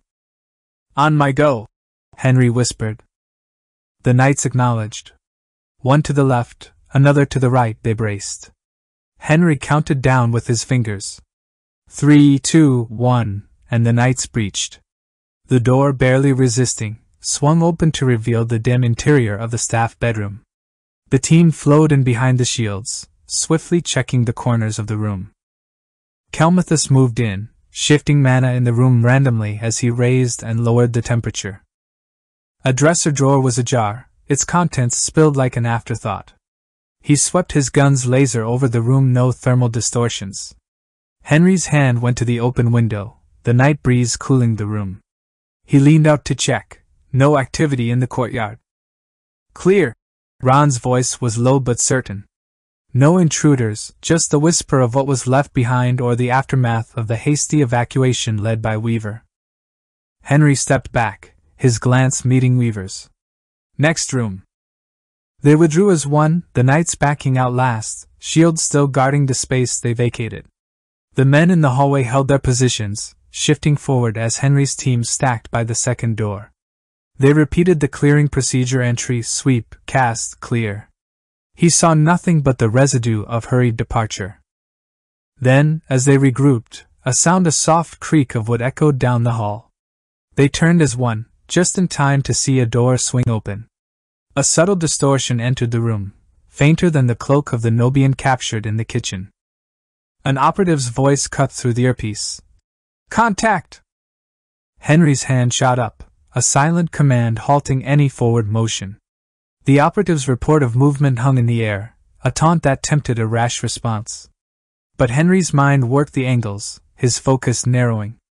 He knew better than to chase shadows not until every corner had been checked, every potential threat accounted for. Maintain position, he ordered. Confirm all rooms are secure. We're not splitting up or getting drawn out. Room by room, they swept through the remaining spaces, each clearing yielding nothing but the echo of absence. Hayes and WYNT returned, helping secure the last rooms. With the hallway now under their control, Henry gathered his original squad. You're with me. If this is a feint, we don't bite hard. He continued, turning to face Weaver's squad. Weaver, hold here. Secure the area and keep comms clear. Anything moves, let us know ASAP. Henry's squad formed up, Hale and WYNT with shields up front.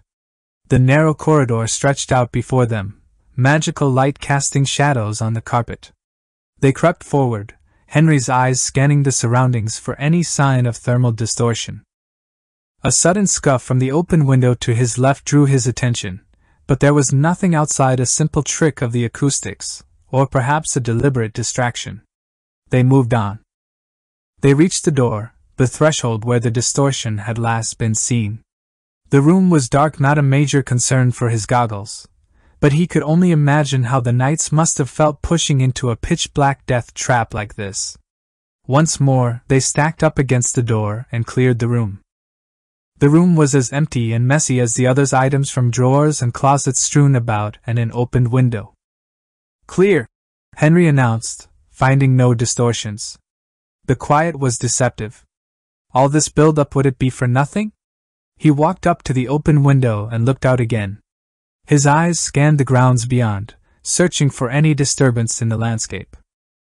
There, garden beside the entrance, about 100 meters out. His voice was barely audible as he gestured towards a line of shrubbery that swayed unnaturally as if someone brushed past it. Looks like they're retreating. WYNT's armor clanked subtly to his left as he approached the window.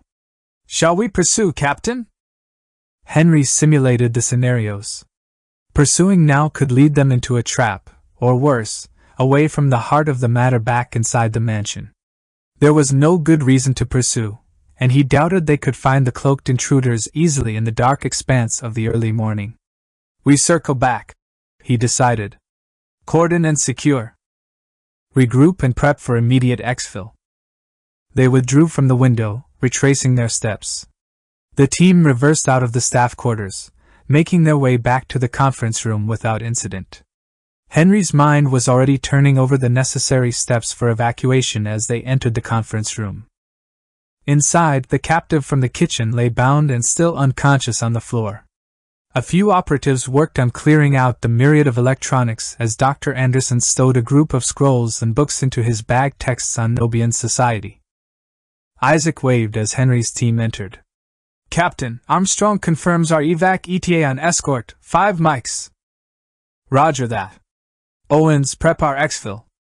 I want the MRAPs warm and ready ASAP. Henry ordered. While Ron and a few other drivers darted away, Henry turned to Ryan. Hayes, take point on the prisoner transfer. Acknowledging the order, Hayes maneuvered towards the inert form of the Nobian, calling over WYNT to help drag the man out. As they did so, Roland walked up to Henry, presenting a deep bow. Pray, forgive us for failing to prevent this incursion. I have notified the night garrison of your evacuation via ethergraph. They shall assist your convoy to the city limits. If there is anything else you require of us, do not hesitate to say the word. Henry half expected the man to initiate a cliched apologetic ramble in an attempt to save the face of Duke Vancer. Instead, the butler's response was direct, efficient, and above all, without bullshit. Henry appreciated that. Good work. For now, help us pack our stuff. At once, Captain. Wrapping up the evacuation procedures, a thought struck his mind. He frowned out of concern, approaching Perry. Ambassador, did you manage to reschedule the talks? Perry nodded a sight that granted Henry a sliver of relief. Yeah, he answered. Talks are deferred to next week. I'm hoping to relocate talks to Armstrong or Groom Lake as well. And the Duke? Henry probed further, tone anticipatory. If Duke Vancer agreed to relocate to Armstrong or Groom Lake, security would be a whole lot easier. Kelmuthus will keep our dialogue with Roland and through him, the Duke ongoing via ethergraph. Perry gestured toward the Archmage, who stood conversing with his knights. We'll know in a few hours at the earliest, or whenever the Duke wakes up. Henry looked to the side, glancing at Kelmuthus and his knights. A week, huh? Will the delays impact our current agreements? Perry followed Henry's gaze. No. The Archmage and his men will continue to work with us, so we'll be able to continue gathering data and maintain their magical and tactical expertise one less thing to worry about, given the Nobians' newfound interest in our affairs. That was a relief. The Nobians already gave them enough trouble snooping around for intel. Good. Unexpected lessons in Nobian tactics should be a one and done. Everything's green on your end for exfil? Perry double checked his bags, ensuring all his diplomatic paperwork was secured. Yes, all set here. Just making sure nothing sensitive gets left behind. Henry shifted his focus, conducting a thorough final sweep of the room and his quarters. His eyes scanned methodically, searching for any misplaced equipment. The SOP was clear leave no trace, and he intended to follow it to the letter. He grabbed the toothbrush and other toiletries from the restroom, stowing them in a bag. Not the most sensitive, but he understood Perry's and Anderson's concerns about cultural contamination. Zulu 9 status report. He called into his radio. Area sanitized, sir. All personal effects accounted for and gear recovered. One of his men answered. Copy that. Confirm with team leads, we're leaving now. Henry responded. He glanced around once more before approaching the stairway overlooking the main entrance. Perry was already there, leaning over the rails. The delegation's personnel streamed out the front door, maids and butlers helping carry some of the bags. A shame we couldn't get to stay, Perry sighed. Henry could imagine the man's disappointment historic first contact stunted by the wanton aggression of an unknown party. A shame indeed, Henry agreed. Let's go. They descended the staircase, noticing Roland waiting for them at the bottom. The distinguished attendant stepped forward as they reached the last step.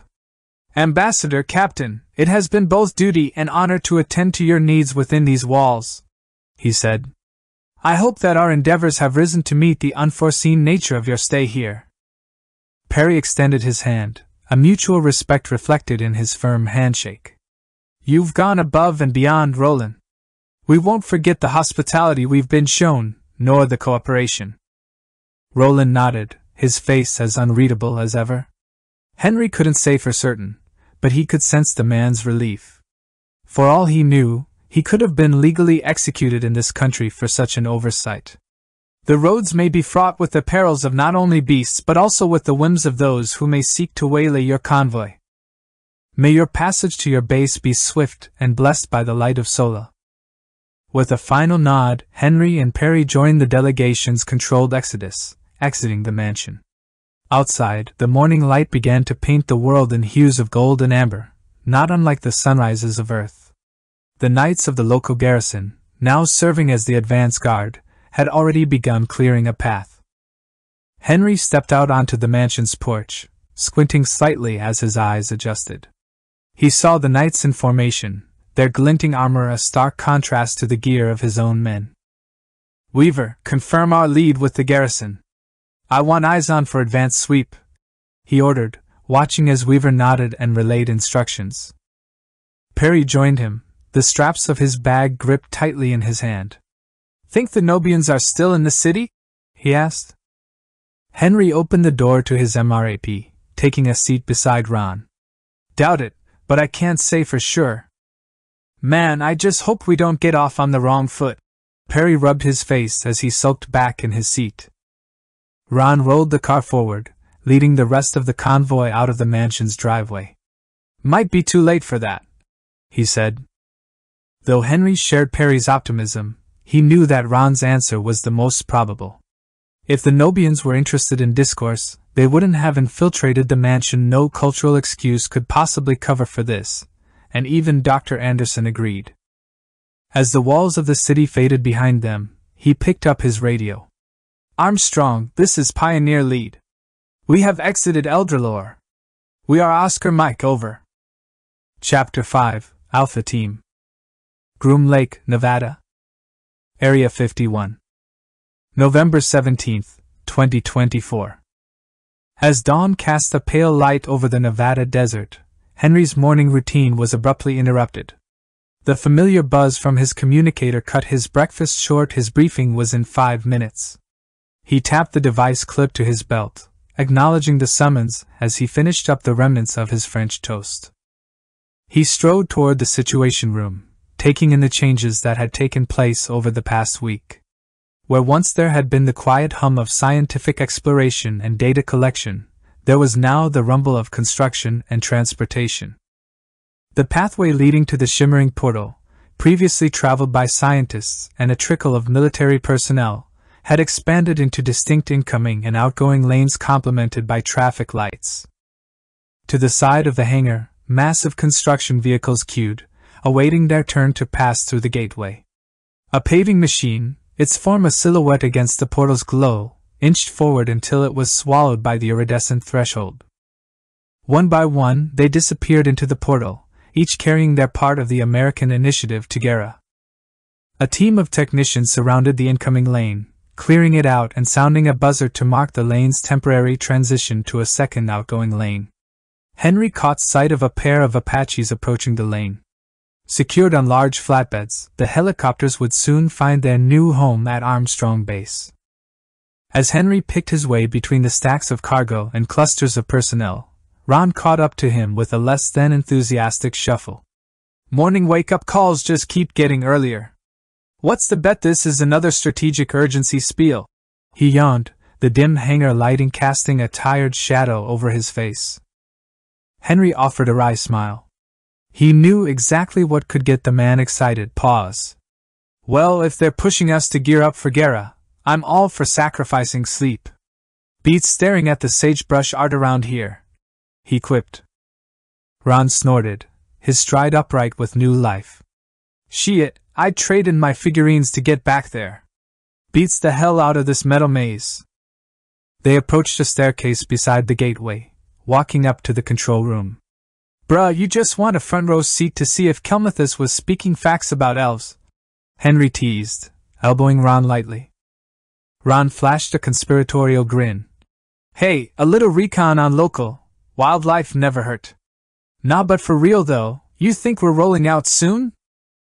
Henry paused at the top of the stairway and considered the flurry of activity around them.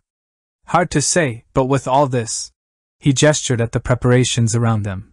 Plus the talks coming up, I'd say we're not just here to play war games. He continued walking, boots thudding against the metal grating as he and Ron approached the control room. Inside the glass paneled room, Director Lombard and Dr. Lamar were engrossed in their work. Snippets of their conversation about the Garen Gateway and something about an analysis of Kelmuthus magic flowed out of the open doorway. They must have enjoyed Kelmuthus' lectures on magic far more than he did. They moved past the control room, stepping into the quieter corridor that led to the situation room. Reaching the door, Henry pushed it open and stepped inside, ready to pivot from the what ifs to the what nows. Scanning the room, Henry saw familiar faces, Hayes having a conversation with Ambassador Perry, Yen on his laptop, and Dr. Anderson on a tablet reading a PDF scan of a book from the guest mansion's library. They all looked up at Henry's and Ron's entrance, sending acknowledging nods their way. As Henry took a seat with Ron, he glanced at Ambassador Perry, then back to the others. Another diplomatic security mission? Henry's gaze drifted momentarily to the window, watching as the technicians restored the incoming lane. He turned his attention back to the room just as the door swung open again, revealing General Harding. The chatter subsided instantly, Henry and the other operatives saluting him. At ease, Harding said, holding up a hand. As everyone returned to their seats, he began. Today, we're adapting to a new operational landscape. The events at Eldralore have expedited the need for a specialized unit. This will be a first for us a hybrid team with a very specific mandate. Henry leaned forward, elbows on the table and fingers interlaced. It looked like this might be something more exciting than just a diplomatic security mission. Captain Doniger, Lieutenant Owens, Mr. Hayes, Mr. Yen, and Dr. Anderson.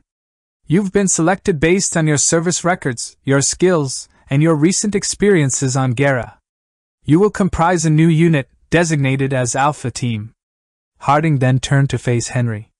Captain Doniger, you command Alpha Team. Your actions in Eldralore showed initiative and adaptability traits we need for what lies ahead. Henry accepted the appointment with a nod. Alpha Team will be embedded into local societies, operating with self sufficiency and within a few hundred miles of Armstrong Base. Your diverse skill sets should cover everything you may need, with Dr. Anderson additionally overseeing interpretation and relations. Harding took a moment to survey the room, ensuring he had everyone's attention before he delved deeper into their mission parameters. Alpha Team's primary objective is intelligence hard intel on Gera's political factions, military capabilities, the capabilities of magic and local fauna, and any other players on the board. Establishing relations will be just as crucial. The more rapport you can build, the more we can know about and the better we can defend against possible threats. He paused. Your secondary objective is to safeguard U.S. interests in the region. Armstrong Base is our foothold in Gera, and we need to be ready to act against any threats that may arise. To that end, your immediate assignment is to integrate yourselves within the fabric of Eldralore. He clasped his hands behind his back, continuing. Alpha Team will head to the Adventurers Guild there, you're to register as adventurers. This guise will provide you with the necessary cover to operate freely and gather intelligence on the ground. This approach is unconventional, but it will grant you access to resources, information, and contacts that would otherwise be out of reach. The quests will give you a means of obtaining funds to sustain yourselves, as well as materials and artifacts that you will be sending back to Armstrong for analysis. Henry glanced at Ron. Here it was, the adventure Ron always spoke of, and the man was damn near unable to contain his glee. Even Isaac seemed to be excited. Honestly, he was actually looking forward to seeing what Ron was so excited about. His eyes moved back to the general as he continued. It is imperative that you blend in, learn the lay of the land, and establish a network within the adventurer community. According to Sir Adheles, the various guilds are all international entities, all with vast information networks. How you navigate these initial steps will set the stage for all our subsequent operations. Perry stood up then. He distributed a packet to each member mission dossiers filled with the current intel and preliminary assessments. Harding gave a nod of approval. Those packets have also been uploaded to your tablets and contain everything we know so far and highlight what we need to find out. Study them. Know them. They will be the foundation of your strategy. Henry flipped open his dossier, his eyes quickly scanning the contents. The maps were expanded from a basic view of the base's immediate surroundings to a complex analysis encompassing the entirety of the Grendon Plains. Shaded areas denoted territorial claims while stars marked settlements within a hundred miles of the base. Sketches and scanned paintings of various fauna stared back at him, accompanied by detailed profiles authored by Kelmuthus and other Cenarian liaisons. As he absorbed the information, Harding continued, the prisoner's cooperation has been enlightening, though not without its challenges. Corroborating his intel is difficult given our limited presence on Gera, but we've verified enough to act upon thanks to our enhanced interrogation of the captured bandits and details from the Cenarians. Henry's focus sharpened as Harding laid out the verifiable basics. The Nobian Empire is on high alert. They're probing into our sudden appearance on the Grendon Plains and our intentions. Their first contact was aggressive, it's a clear indication that they're not just curious. They may perceive any alliance we form as a direct challenge to their dominance in the region. Henry leaned back, taking a breath. He recalled the prejudicial view that the Cenarians and Eldralore had on the supposedly warmongering and devious Nobian Empire. Perhaps they weren't prejudiced at all. Harding turned, giving the floor to Ambassador Perry. The prisoner's insights give us a unique diplomatic advantage. We must be cautious, strategic, when it comes to who we talk to and how we affect the local societies. Ideally, we refrain from letting the Nobians think we're upsetting the geopolitical status quo. It's inevitable you will run into Nobian scouts, merchants, or plain travelers. Our interactions with them will set the tone for future engagements. It's imperative we do not close any doors, diplomatic channels must remain open, even if they seem unresponsive to our overtures. Perry's eyes met Henry's. Alpha Team will be our eyes and ears on the ground. How you engage with the Nobians, should the need arise, will either build bridges or burn them. After the ambush and the incident in Eldralore, it may seem like the bridge has already been burned, but there remains the possibility that those actions were not sanctioned by the official Nobian government. Until we can find out more, remember that your actions not only reflect our military might but the diplomatic intentions of the United States. As Ambassador Perry concluded his guidance, General Harding stood once more. No questions? Upon seeing the shaking of heads, he continued, Excellent. You've got your orders. Gear up, study your dossiers, and be ready to move out within the hour. Dismissed. Henry and the rest of Alpha Team made their way to the exit. As the Situation Room door closed with a soft click, Harding's sigh barely filled the silence. Less than an hour till Duke Vancer's supposed to arrive. He mused. Perry didn't look up as he stacked his briefing materials. Nervous? he asked, the question coming off as more of an observation than an inquiry. Harding shrugged. Lord knows. I always wondered how it would be if the Manifest project ever succeeded. And here we are, Perry said, finishing Harding's thoughts. Harding waited for Perry at the door as he finished gathering papers into a binder. Yup. Feels different, now that we're actually here.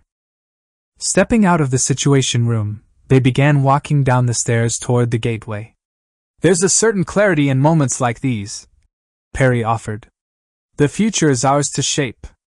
It's a heavy mantle, but we carry it well. Clarity, sure, Harding grunted. But it's the unpredictable elements that keep me alert. They walked alongside trundling vehicles on a smaller path within the outgoing lane reserved exclusively for foot traffic. Stepping through into Armstrong Base, they were greeted by the lush greenery of the Grendon Plains and a pleasant early sunrise. Feeling the cool, crisp breeze, they paused to admire the scene. Perry's voice broke the brief reverie. And that's precisely what we need, General. Director Lombard, myself, and many others, we've all got a childlike optimism for this. You're our anchor. General Harding watched the landscape of Armstrong Base. It thrummed with the bustle of machinery, straddling the line between old certainties and new horizons. New structures had sprung up over the past week barracks, warehouses, garages, hangars, and the foundations for heavier infrastructure like radar. HESCO blocks and concrete T-walls created a perimeter around the base. To the right of the gateway, the skeleton of a future runway stretched out like the promise of tomorrow. He wondered how Duke Vancer would react to all this, then shook off the thought. That was Ambassador Perry's job. I suppose so, Ambassador. I suppose so. He checked his watch. We should move to the rendezvous point. The Cenaran delegation will be here in less than fifteen minutes. Ambassador Perry stretched his arm out. After you, General. They made their way toward the gateway's security checkpoint. Harding looked around the area, noting the positions of his men. They didn't have a red carpet, but they were certainly ready to receive the Cenarans. As they approached, he gave a subtle nod to a technician near the gateway. Commence gateway hold. The technician broadcasted. Secure all ingress and egress at the gateway. Roger, gateway hold is in effect, confirmed a watch officer from the nearby control booth. The familiar hustle around the portal ceased with immediate effect, traffic being redirected to make way for the delegation. Harding tracked the road that snaked towards Armstrong Base. The morning air was clear, save for the distant dust clouds stirred up by the approaching Cenaran delegation. Next to him, Ambassador Perry adjusted his binder, eyes lifting occasionally to the horizon. They both watched as the Cenaran procession appeared over the rise, the Dradaks and carriages emerging into view and escorted by a subtle vanguard of UGVs. The beat of hooves and the rumble of engines grew steadily louder, the American escorts maintaining a respectful distance. The procession approached, the Dradak's reptilian neighs adding a unique undertone to the morning calm. As the delegates reached the staging area, the UGVs peeled off, their task complete. The Cenaran convoy halted in front of them, guards and diplomatic staff dismounting from carriages while Dradak mounted and horse mounted knights stood watch. Duke Vancer descended from his carriage, the morning light catching on the polished silvery metal of his breastplate. He swept aside his cloak, revealing intricate, flowery filigrees decorating his armor. The Duke's gaze swept the area calculated, lingering survey that took in the armed guards, the nascent alien structures of Armstrong Base, and the mysterious mechanical constructs that hammered the earth in the background. Perry approached him. Your Grace, Duke Vancer Adstein, I am Ambassador John Perry, representing the United States of America, he said, extending his hand. We are honored by your historic visit and look forward to embarking on this journey of mutual understanding together. Duke Vancer studied the ambassador for a moment, eyes darting from his suit's lapels to the blue tie and the American flag pin before finally meeting his eyes. He shook his hand, responding with a slight, acknowledging smile. Ambassador Perry, I extend to you the greetings of Sonara. Your amicable welcome is received in the spirit it is given.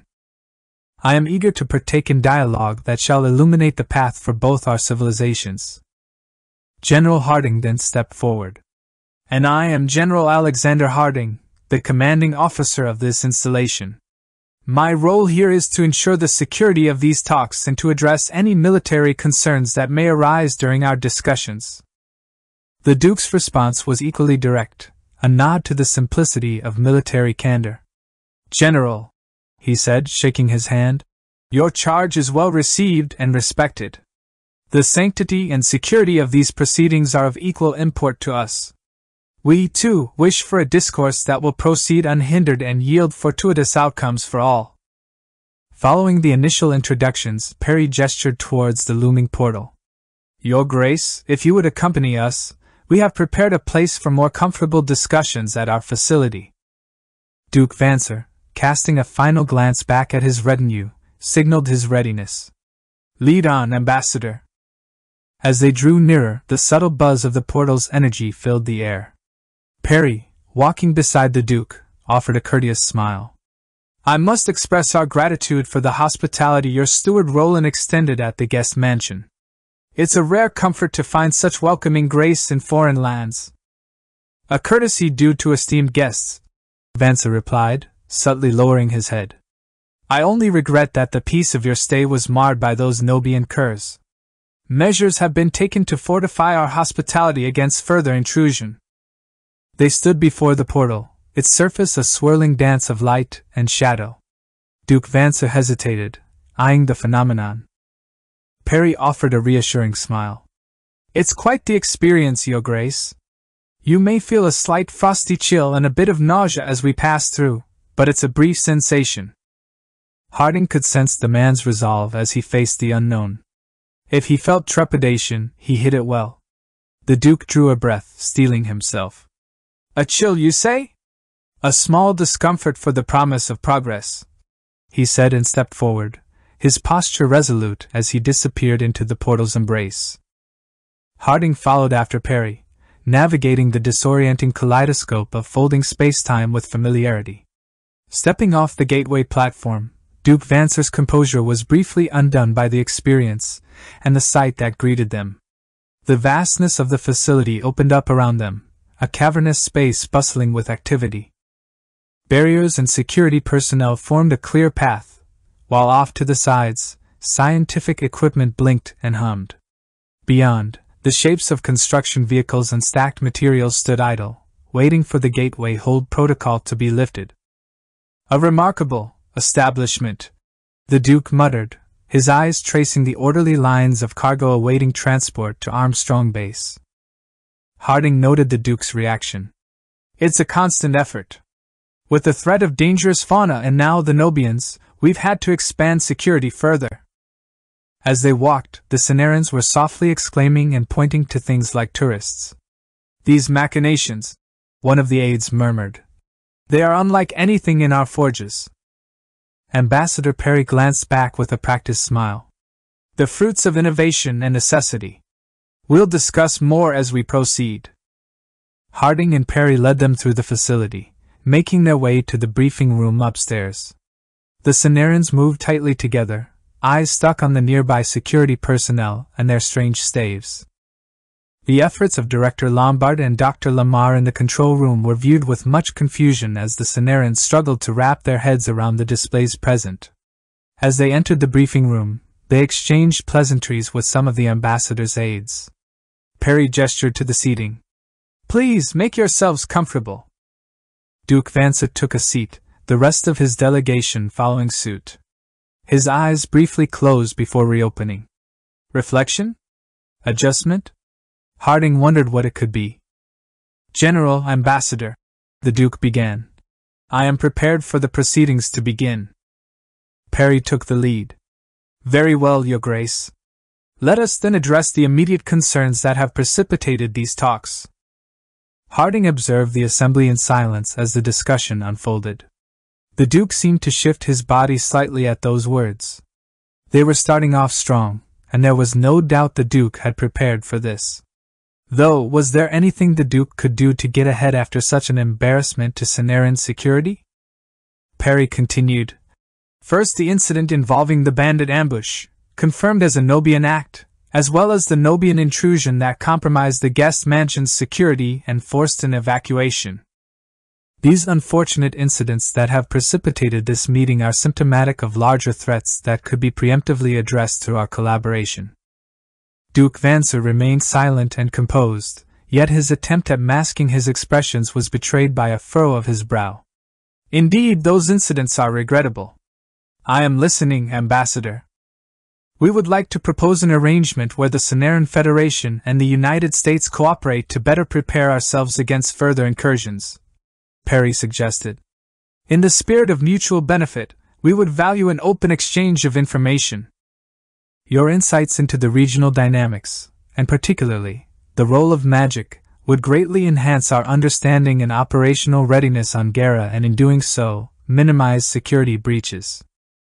An exchange of information for the boon of security. He mused. This is a matter I shall bring before our High Council. Your aerial scouts, he said, glancing at a finely detailed printed map of the Grendon Plains, would present a compelling argument for the merits of such an exchange. Harding raised an eyebrow. The Duke was astute.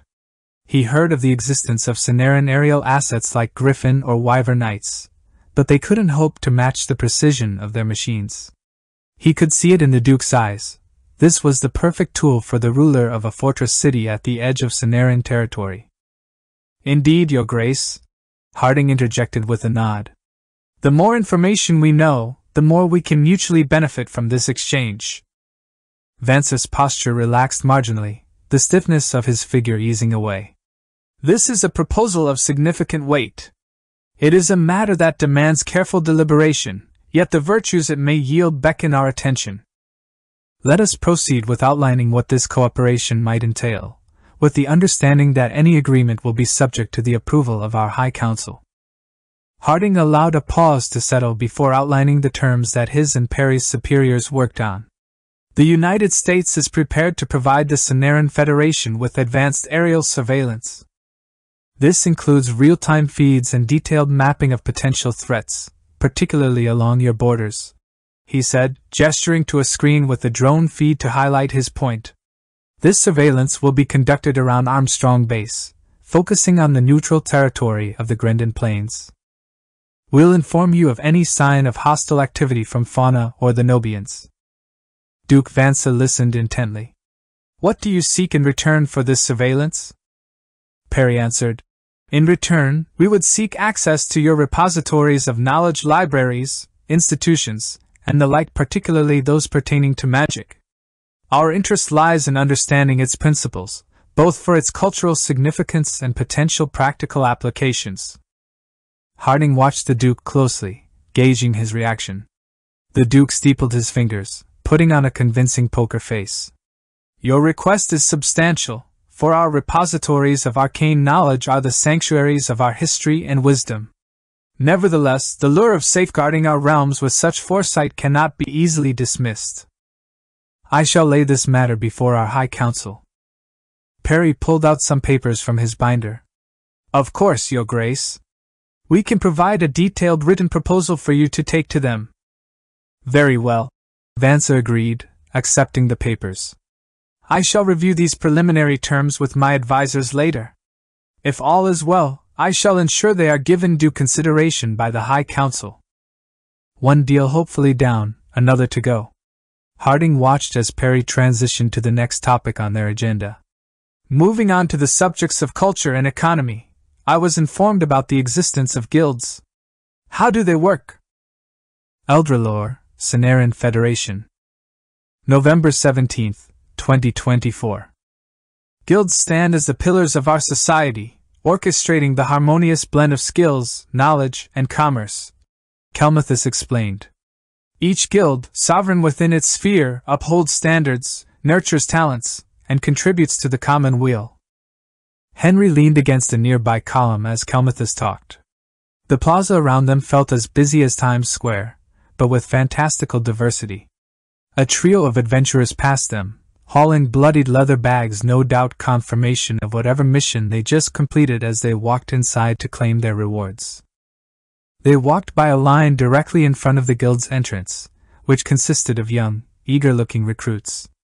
Many looked his age or younger, with some looking like they would have barely been in high school. The building itself towered above the plaza but was no taller or shorter than the other guild branches around them. They encompassed broad professions, from the Artisans Guild to the Magic and Commerce Guilds.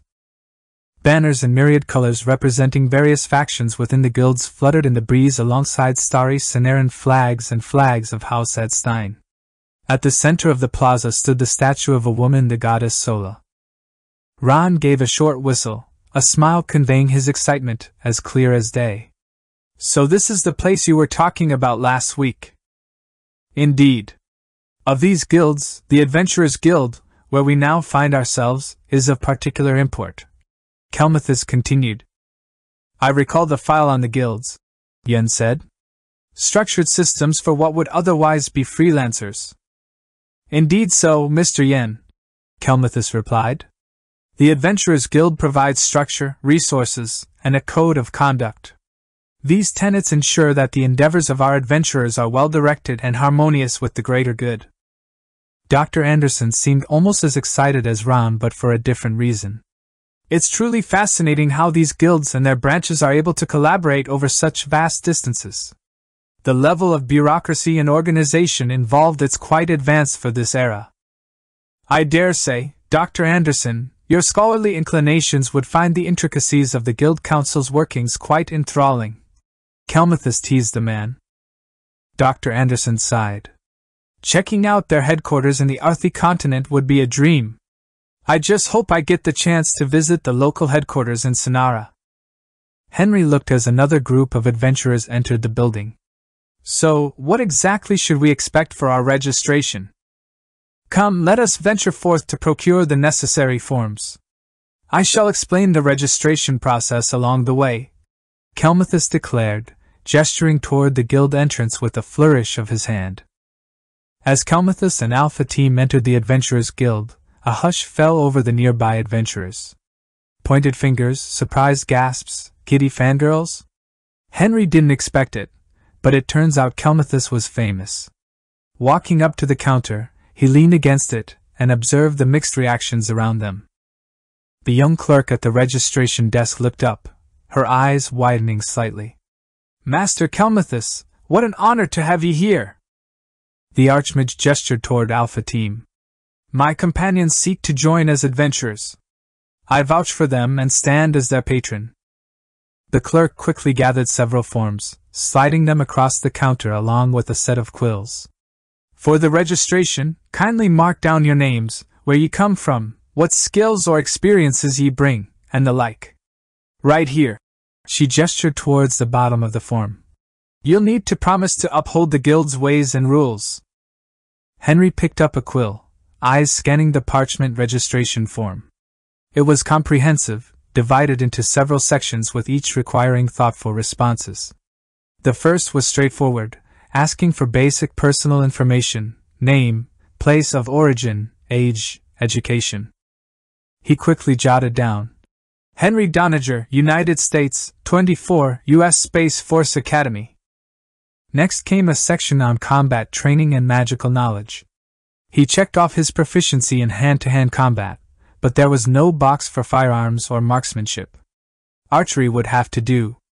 Beside him, Ron did the same, though he paused at the section on magic.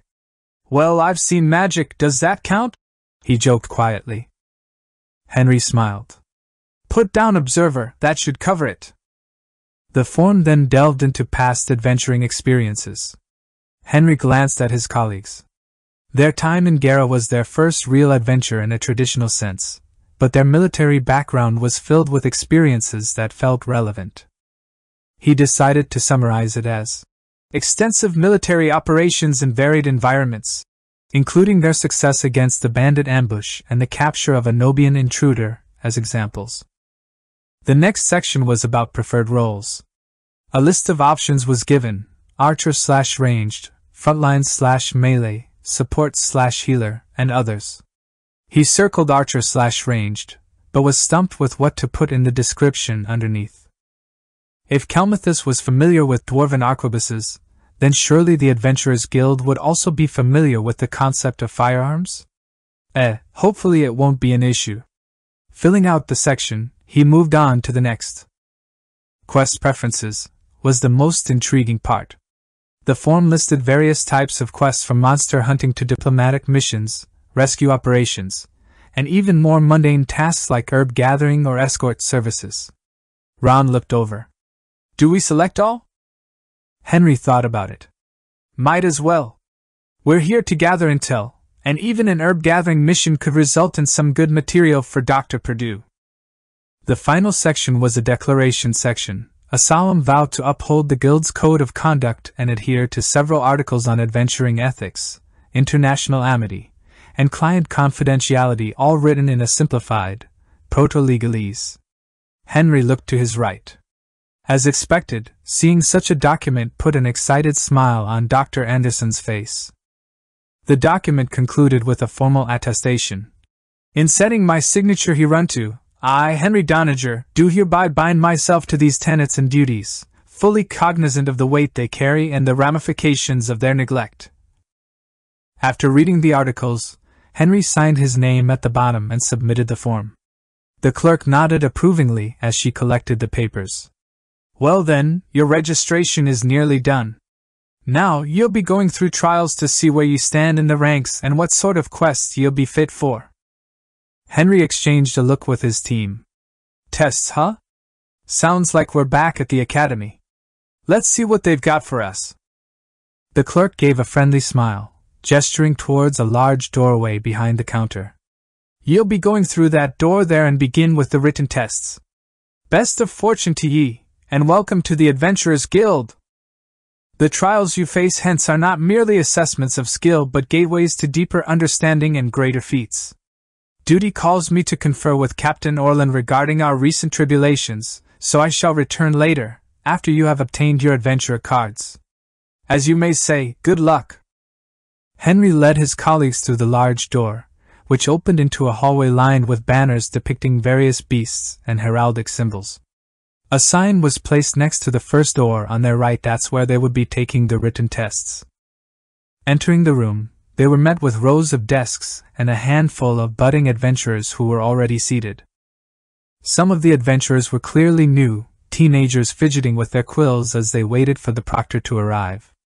Others were already a few months into their journey, hoping a good score would bump them up from Tier 4 to Tier 5 in trepidation for the advanced tests past Tier 5. Their conversations fell silent as they took in the arrival of Alpha Team. As Henry's team found their seats, a young elven woman at a nearby desk glanced over. Dressed in a green cloak and flexible armor that seemed to have both a silvery and golden sheen, the woman brushed her light blonde, almost silvery hair aside as she looked Henry up and down. You certainly stand out, she remarked. I'm Seraphine Adcindes, Tier 7. And who might you be? Henry found himself mesmerized by the woman's purple eyes, a biological anomaly that turned out to be rather alluring. He extended his hand. Captain Henry Doniger. We're not from around here. Seraphine looked at Henry's outstretched hand, waiting as if to intentionally make Henry uncomfortable and awkward before accepting it. Oh? That had escaped my notice, she said, analyzing their gear. Most entrants begin with naught but a simple tunic and blade, not garb as unusual as yours. A bold choice for neophytes. It worked well enough against those bandits last week, Ron muttered with a hint of defensiveness. Ah, so it was your quaint troop that quelled that skirmish? You've proven yourselves in a scuffle with common brigands, then. Her voice held a tinge of respect, but also an undertone suggesting that she considered the bandits to be a lesser challenge. An impressive feat for newcomers, indeed. Yet, the path of an adventurer is strewn with far greater perils than mere bandits. It shall be intriguing to see how your unique methods fare against more formidable adversaries. Her gaze lingered on them for a moment longer before she turned her attention back to her desk. Before more could be said, the guild proctor arrived and brought the room to order. Your inaugural trial shall be of written form, the older lady announced. It shall encompass the breadth of knowledge requisite for adventuring the perils, the lore, and the sagacity needed to navigate them. Two hours shall be allotted for this test. Begin. Henry thought he'd be done with academic challenges after graduating, but he had to admit, this was pretty interesting. Guess it's time to see how much of that briefing material stuck, he thought to himself. The test was meticulously structured, beginning with an in depth exploration of monster tiers and physiology. Intricate illustrations of creatures filled the pages, from the common goblins to the elusive and dangerous Death Knight. Henry leaned in, scrutinizing each drawing, recalling briefing notes and cross referencing them with the creature's characteristics before naming and categorizing them into their respective tiers. The lesser and greater variants and other subcategories thereof were a bit harder to pin down, but he could guess their general ranking amidst the other creatures. Overall, it was a much smoother experience compared to his high school days of identifying the mitochondria and other structures on a blurry, ink splattered, and grainy figure of a cell. The next section presented a series of mathematical challenges centered around the economics of adventuring. Here, the questions were grounded in reality, calculating equipment repair costs, material profits, and expedition budgeting. One problem, in particular, stood out to Henry. It read A shattered sword requires 1,500 lumins for repair. If a Cenaran merchant offers to pay for the repair in the local currency, how many sonars should Henry expect to receive? According to Kelmuthus, the exchange rate between lumins and sonars was about 1 to 4. He flipped the page, checking a table to make sure. Yup, that would be 6,000 sonars. The section continued with similar problems, ranging from the griffin feather arbitrage in different cities to quest fees and taxation. Thankfully, the questions were nothing compared to the complexities of higher order differential equations. A turn of the page brought them to the world of alchemy. The section was filled with detailed descriptions of potions, each characterized by its unique color, scent, and effects. They demanded careful analysis, challenging Henry's understanding of this arcane science. One of the questions posed a complex scenario.